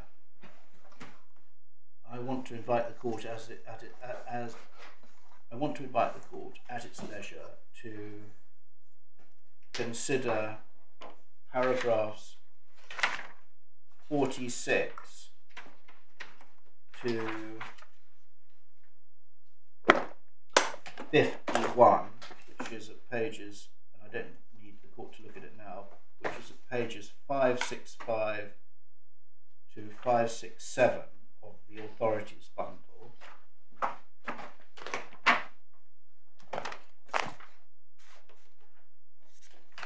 And in particular, to consider the passage above the title paragraph 2 on page 567. And, and um, I'm directing that in particular to Lord Justice Moylan, uh, but also to the court as a whole. Um, it's a very lengthy passage that I've referred to, but I think it's important for the court to look at page 5, 5 9 internally, 567 of the Lagarde report and to consider the passage above the heading paragraph 2, which is very opaque, but so far as I can unravel it, might support um, the fact that uh, the Professor Lagarde um, was indicating that Article 7 could apply as between a contracting state to a non contracting state but, but unraveling that is very, very difficult, and I don't have the time now to do it. Um, I want now to turn to ground one, Yes. please. So the date for the assessment of habitual residence. Was it the date of the application, so that's the 24th of June, or was it the date of the um, trial, the end of November? I accept and acknowledge that um, the there are a number of authorities, and I will simply refer to them without going to them, um, whereby judges of this division have decided that it's the date of the trial. And the court has already the, the, the problems that, that uh, derive from that. Essentially, a jurisdictional march is. So just, just so I'm clear, when you say judges of this division, you mean judges of the family division? I'm so judges. sorry. Um, I, I'm thinking of too many things at the same time. What I mean is judges of the family division. Um, there is only one court of appeal there are, that is engaged. So no, again, it's a, a, an issue that this court hasn't looked at. So this is the first time that the court's look um, looked at it. And um, so the, the case against me is the case uh, put very ably by my learned friend, of course, but also uh, put by Mr. Justice MacDonald in the case that we were just looking at, the London Borough of Hackney and P and others. And I'm simply going to give the references. Uh, paragraph um, 67 and in particular his discussion at paragraph 106 to 111 and he comes to a conclusion that the, the point is um, the date of assessment is the date of the trial. In addition, again, I have to readily accept that insofar as um, our researchers have taken us, the limited number of cases that are available, particularly from Australia, and a Northern Ireland, Northern Irish case but they have um, fallen in step with that, and again determined that it's the date of assessment is at the um, at the point of the trial. But you will see from the document, the joint document that we provided, which is at the beginning of the authorities bundle, that there are a very limited number of cases. The argument on the point has been very limited. Um, and that it's by no means a tsunami of cases against us, uh, if I can put it that way. And the Australian cases seem to uh, be fixed uh, in the domestic legislation because it's, it's they're not applying the convention directly; they're applying uh, the domestic law provisions. Yes. Uh, which incorporated the convention. Exactly so. Australian law. Um, and I can't put it better than that. So they're really um, interpreting the domestic uh, uh, legislation and, and, not interpreting uh, the convention. But um, what I suggest is that uh, there is there is there are points that are made well made against me, and uh, Mr. Justice MacDonald probably is his case is probably the, the most um, effective rebuttal of our position. And what we seek to do is to align ourselves and rely upon the decision of Miss, Mrs. Justice Lieven, uh, which came out after um, the decision in this case. And, and her case is the case of Derbyshire County Council and Mother and others, and it's at page 239 of the bundle, and I think it would be helpful just briefly um, to look at that. Because she uh, readily accepts, as I do, that there is an alternative position, that her analysis with which we align ourselves is set out at paragraphs 10 to 26, that's page 244 of the authorities bundle, and she deals head on with Mr. Justice MacDonald's approach in the London Borough of Hackney and P, um, and Mr. Justice Peel's approach in H and R. Uh, she then refers page 245, paragraph 14, to Article 31 of the Vienna Convention on the, the Law of Treaties, um, she refers to the Lagarde report, paragraph 16, page 247. She says that she finds the passages in the report um, opaque, and I would agree with that. Um, uh, she then um, refers back to Article 31 of the Vienna Convention she relies on the object and purposes of the Hague Convention at paragraph 20. Um,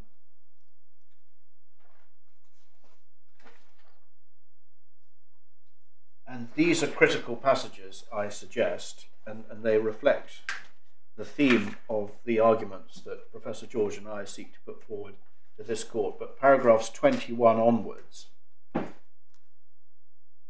if habitual residence, Mrs. Justice Lieven says, this is page 250, paragraph 21, if habitual residence and therefore jurisdiction has to be revisited at every hearing, then that creates very significant practical difficulties, may be seriously detrimental to the interests of the child. It creates a strong incentive in abduction cases and potentially in other cases for one party to delay proceedings in order to move the child's place of habitual residence. Therefore, the jurisdiction of the court to the new country she then refers to Mr. Justice MacDonald emphasising the need for robust case management.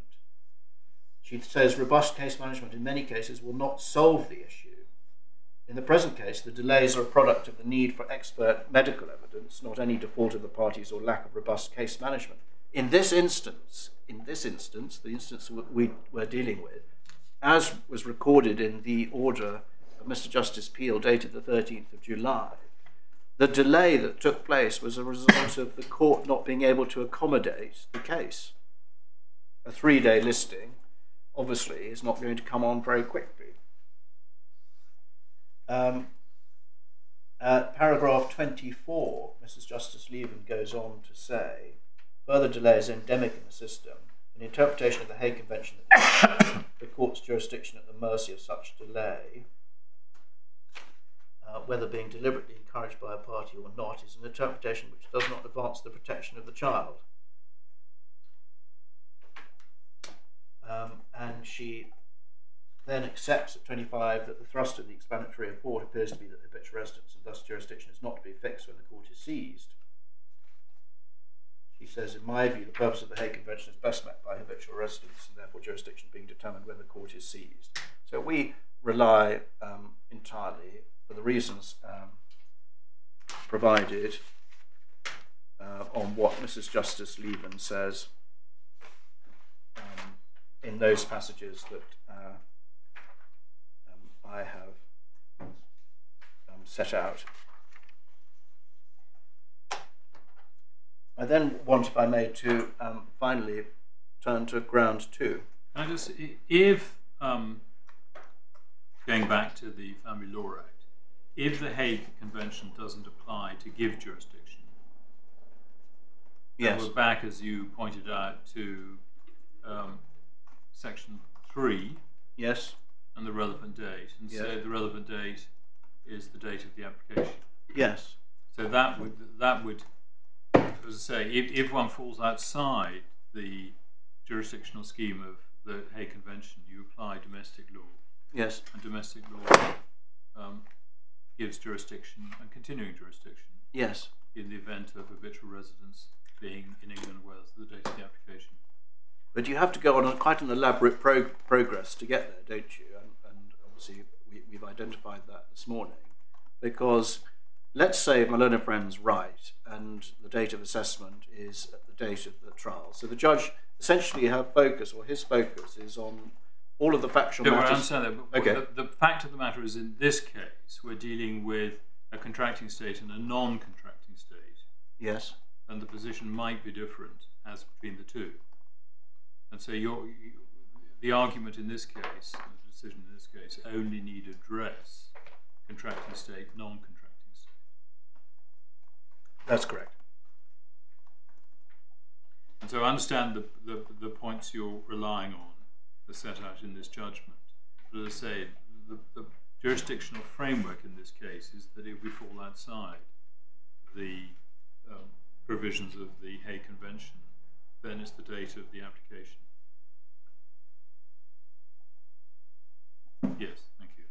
Um, can I then uh, um, move to ground two, please? So that's my challenge, our challenge to the assessment um, conducted by uh, Mrs. Justice Arbuthnot in relation to habitual residence. And in a sense, one is entirely um, sympathetic to the judge because um, the judge is faced with a panoply of, on one view, of extraordinarily um, difficult uh, jurisdictional journeys. Um, involving cases uh, which may be said to be pointing in different directions and with no authority to rely on from this court. Added to that, she has to undertake a, um, a factual assessment of habitual residence. And we've looked, and if we can return as part of this part of the presentation to the core bundle, we've looked at, at the judgment and I picked out certain factual findings, but paragraph 51 is, as I've sought to emphasize, which is page 50 of the uh, judgment, is, is her conclusion on habitual residence. And that's why it's important to look at um, the direction that she gives, which is um, seems to be simply some degree of integration in a social and family environment, but also to look at the analysis that runs as part of her assessment of habitual residence from page but from paragraph 43 to 51.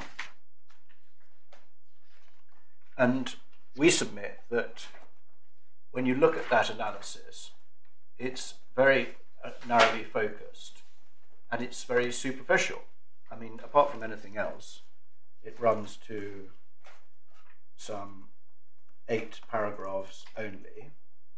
Well, there's, there's, there's an attractiveness to brevity, but not at the risk of um, overlooking relevant matters.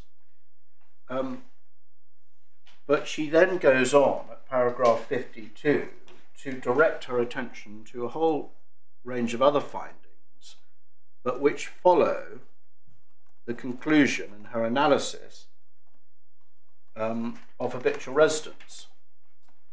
And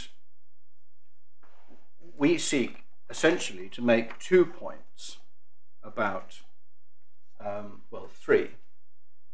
Uh, the first point is the point that um, Lord Justice Moylan has picked up on already at paragraph 51 and whether she's directed herself uh, properly. I need not say any more about that. The second point is we challenge her analysis uh, by saying that she didn't properly take into account or give weight to particular factors in the old life of the child. What is required, amongst other things, in an analysis of habitual residence is a comparative exercise.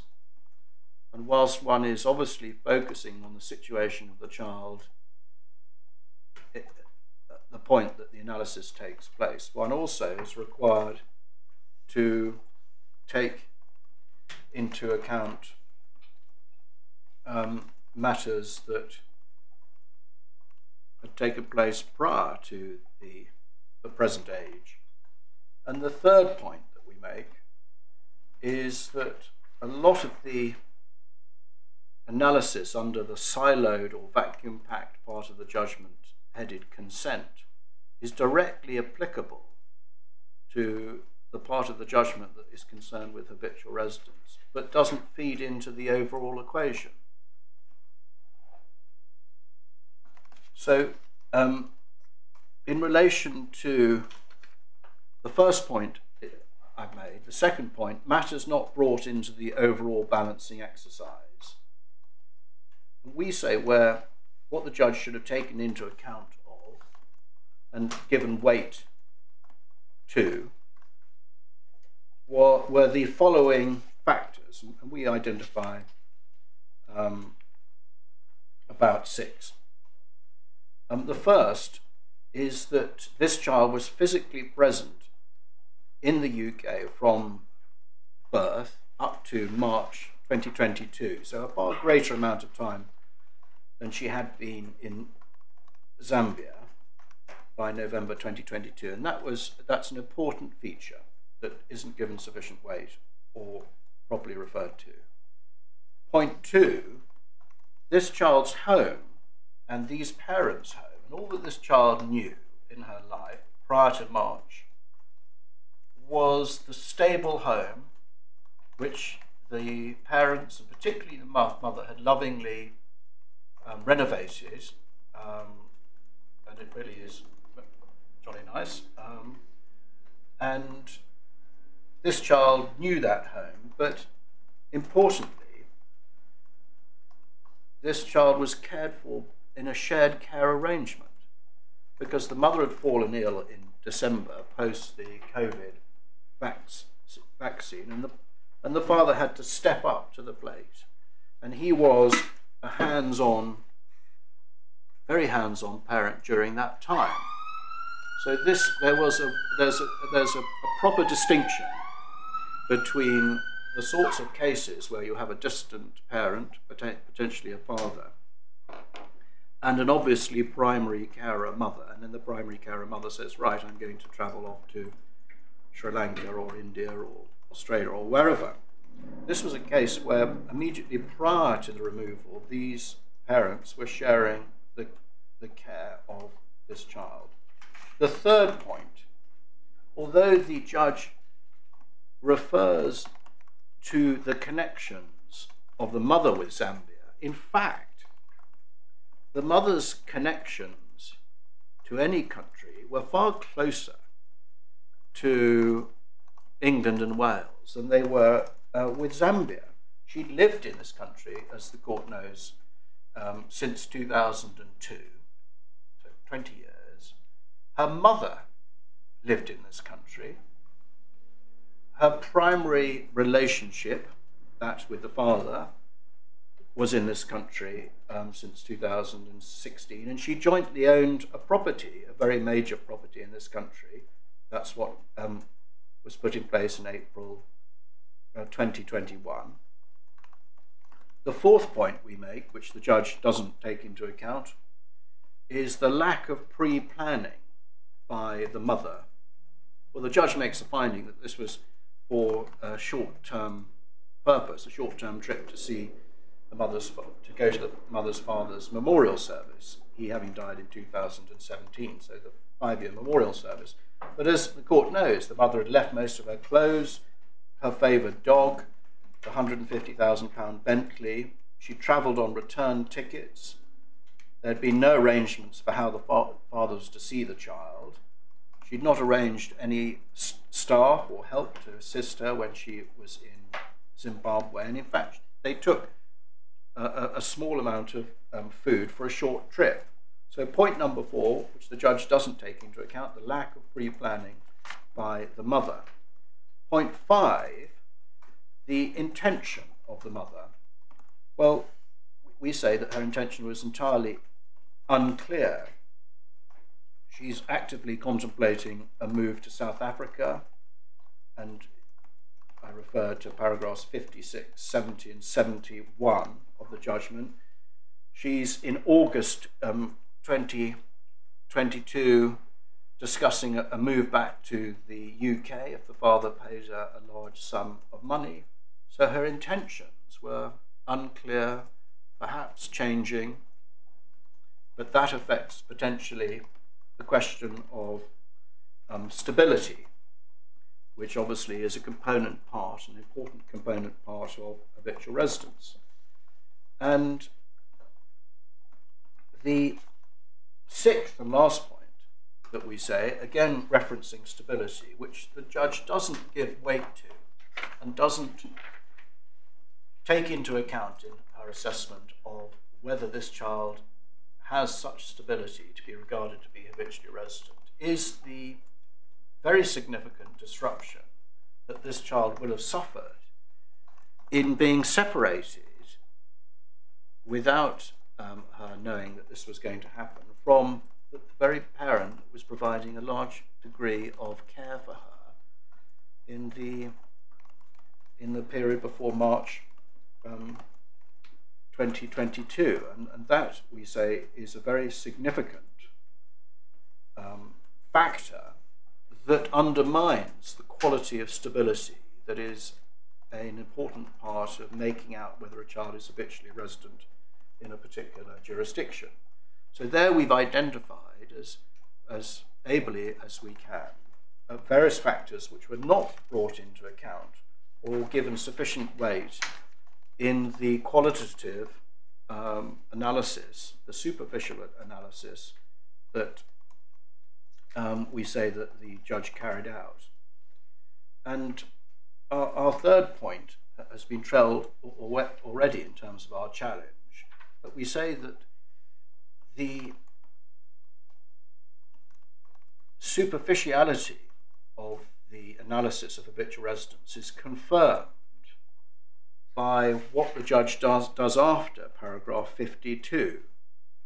She then embarks on an analysis that is particularly directed to Article 7, but it contains factors that are relevant to the analysis of habitual residence. But these factors, factors are siloed within the part of her judgment that is directly um, directed to Article 7. So although she may touch upon them, she doesn't bring them back because she's made her conclusions already and take them into account in the, the overall analysis that she um, undertakes and which is confirmed by virtue of her conclusion at, paragraph 51. So that, in, in relatively short order, but I hope appropriately short order, is our challenge under ground two. What do you say uh, we should do? What are you seeking from us in the event that um, we were to conclude the judge's analysis of habitual residence was flawed?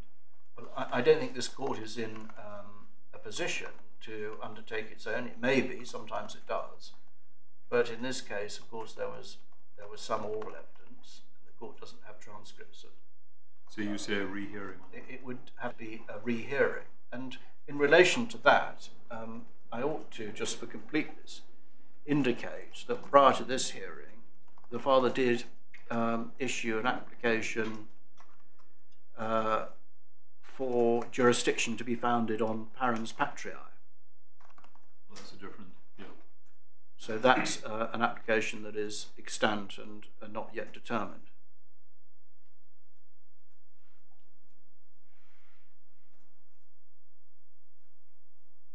If you're wrong about round one, if, if the correct date is the date of the hearing, doesn't that put you in difficulties on round two?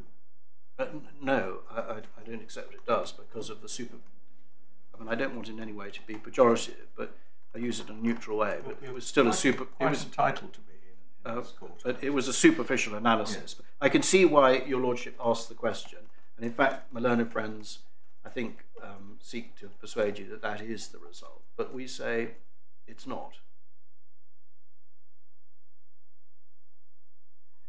I mean, what is required is a, is a proper analysis of relevant factors that involves, apart from anything else, a comparative um, overview of, of, particular features that may run in, um, in different directions, are likely to run in different directions. And what's clear from this analysis is that the factors all alighted upon are really running one way.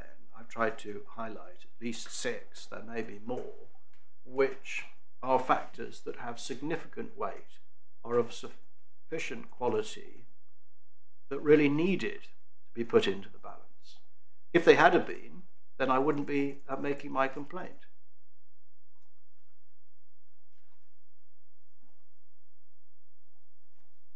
And thank you very much, my lords.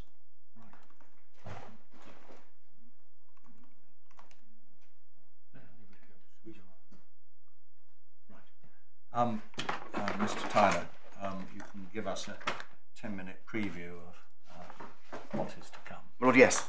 Well, I wonder if I could um, start, please, with reference to that very final point my Lord what has been uh, made to Mr. Devereux, uh, which is this if you're wrong about um, ground one, aren't you in difficulties on ground two? Uh, well, firstly, we would say um, certainly. Um, but secondly, we would just point this out if wrong about ground one, but successful on ground two, where does that take the appellant? The case is remitted, uh, and the judge at first instance will have to decide uh, where the child is habitually resident at the point of uh, the measure the judge is being asked to make, which will be today or more likely X weeks or months' time. Yes. Um, and uh, without prejudging what a judge would say, we were confident at first instance that certainly by the point of that hearing, the child was officially resident in Zambia. Uh, we would be extremely confident in persuading a judge at first instance by the point of consideration of the measures uh, which uh, the appellant, uh, then the applicant, invites the judge to make. Uh, the child would be habitually resident, uh, in which case question what was the purpose of the exercise which is why we frame our skeleton arguments in a slightly different order um, from the grounds. If I may, though, uh, I'll address the grounds not in the order that we did in our argument, nor quite in the order Mr. Devereux did, but with reference to ground one first, the Article 5 point, with reference to ground three second, the Article 7 point, uh, and then finally, uh, ground two, the question of habitual residence and the assessment thereof.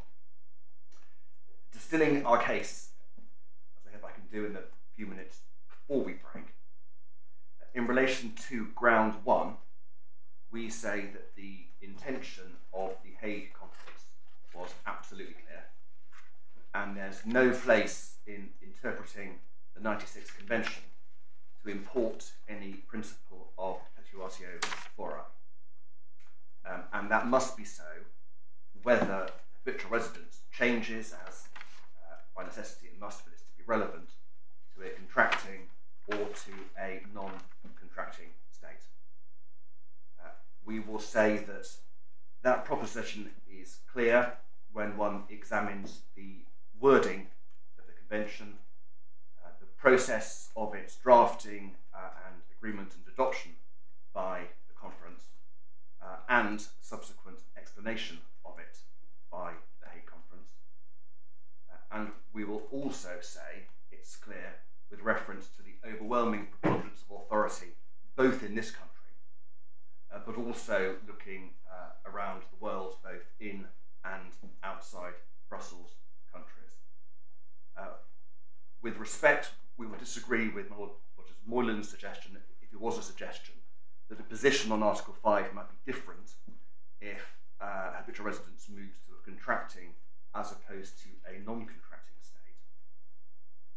and um, if we're right about that, we'll point to the real damage that can potentially be done if this court in this country takes the decision, effectively, we will say, to disregard uh, the clear strictures of the Lagarde report and effectively to find perpetuatio fori because it will create realistically situations in which this court courts of first instance in this country uh, purport to continue to exercise Hague 96 jurisdiction, notwithstanding that habitual residence having passed to another contracting country, those courts uh, also purport to do so.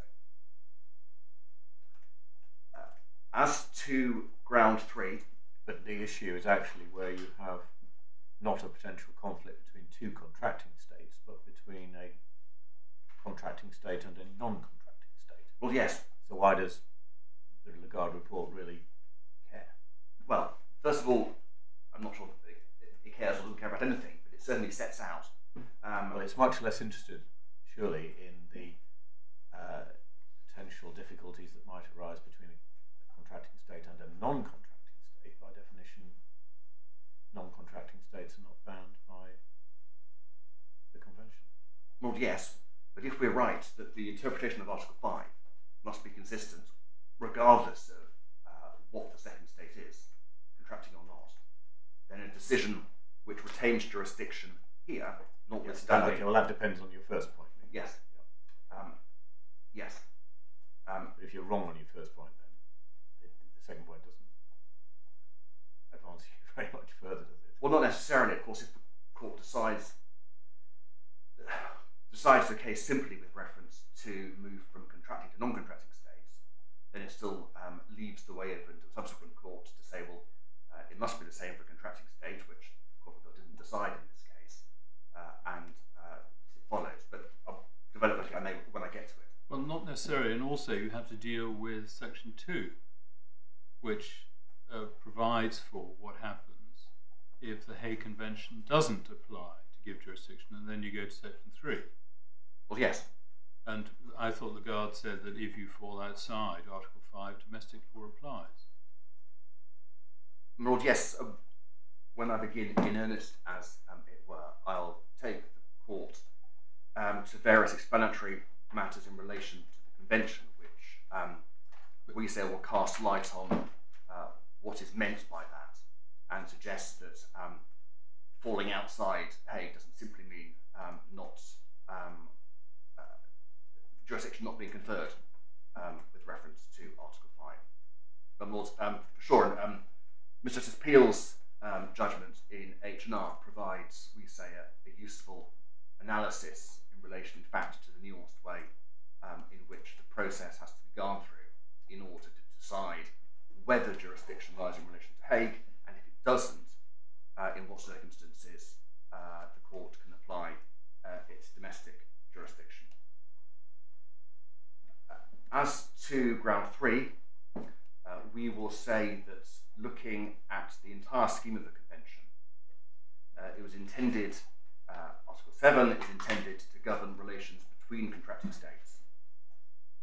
Um, and looking at the scheme of the convention, uh, it only uh, deals with the question of jurisdiction um, being in a member state, a contracting state, um, in which a child is not habitually resident in, or in limited circumstances present in a member state in carefully prescribed scenarios. Uh, and we'll argue that Article 7 can't be one of those. Uh, we'll point to the fact that the obvious consequence of the meaning of Article 7 urged on the court uh, by the appellant is that rather than limit scope for international conflict, uh, to retain, to purport to retain jurisdiction in a contracting state in circumstances in which, by definition, the child's habitual residence has passed to a non-contracting state, uh, we would be uh, almost inevitably, in every case, creating rather than avoiding international conflict. Uh, so in this case, and I'll come to this later, uh, self-evidently, uh, Zambia is uh, conducting proceedings in relation to the child, accepting that her presence and habitual residence in that country give it grounds to do so. Uh, self-evidently, it doesn't, I don't think what's been taken by the appellant, but it doesn't say because a contracting party to a convention to which we are not a party uh, may think otherwise, we won't uh, exercise jurisdiction. And so, if this court were also to exercise jurisdiction, to accept and exercise jurisdiction, there will by definition be uh, two different states doing so contemporaneously. Whereas the whole purpose of the 96 Convention is to make sure that as between the contracting states, uh, everybody knows any one time because it's a holistic, self-contained uh, set of articles. Everyone knows at every time uh, which member state has uh, jurisdiction. How do how do you know?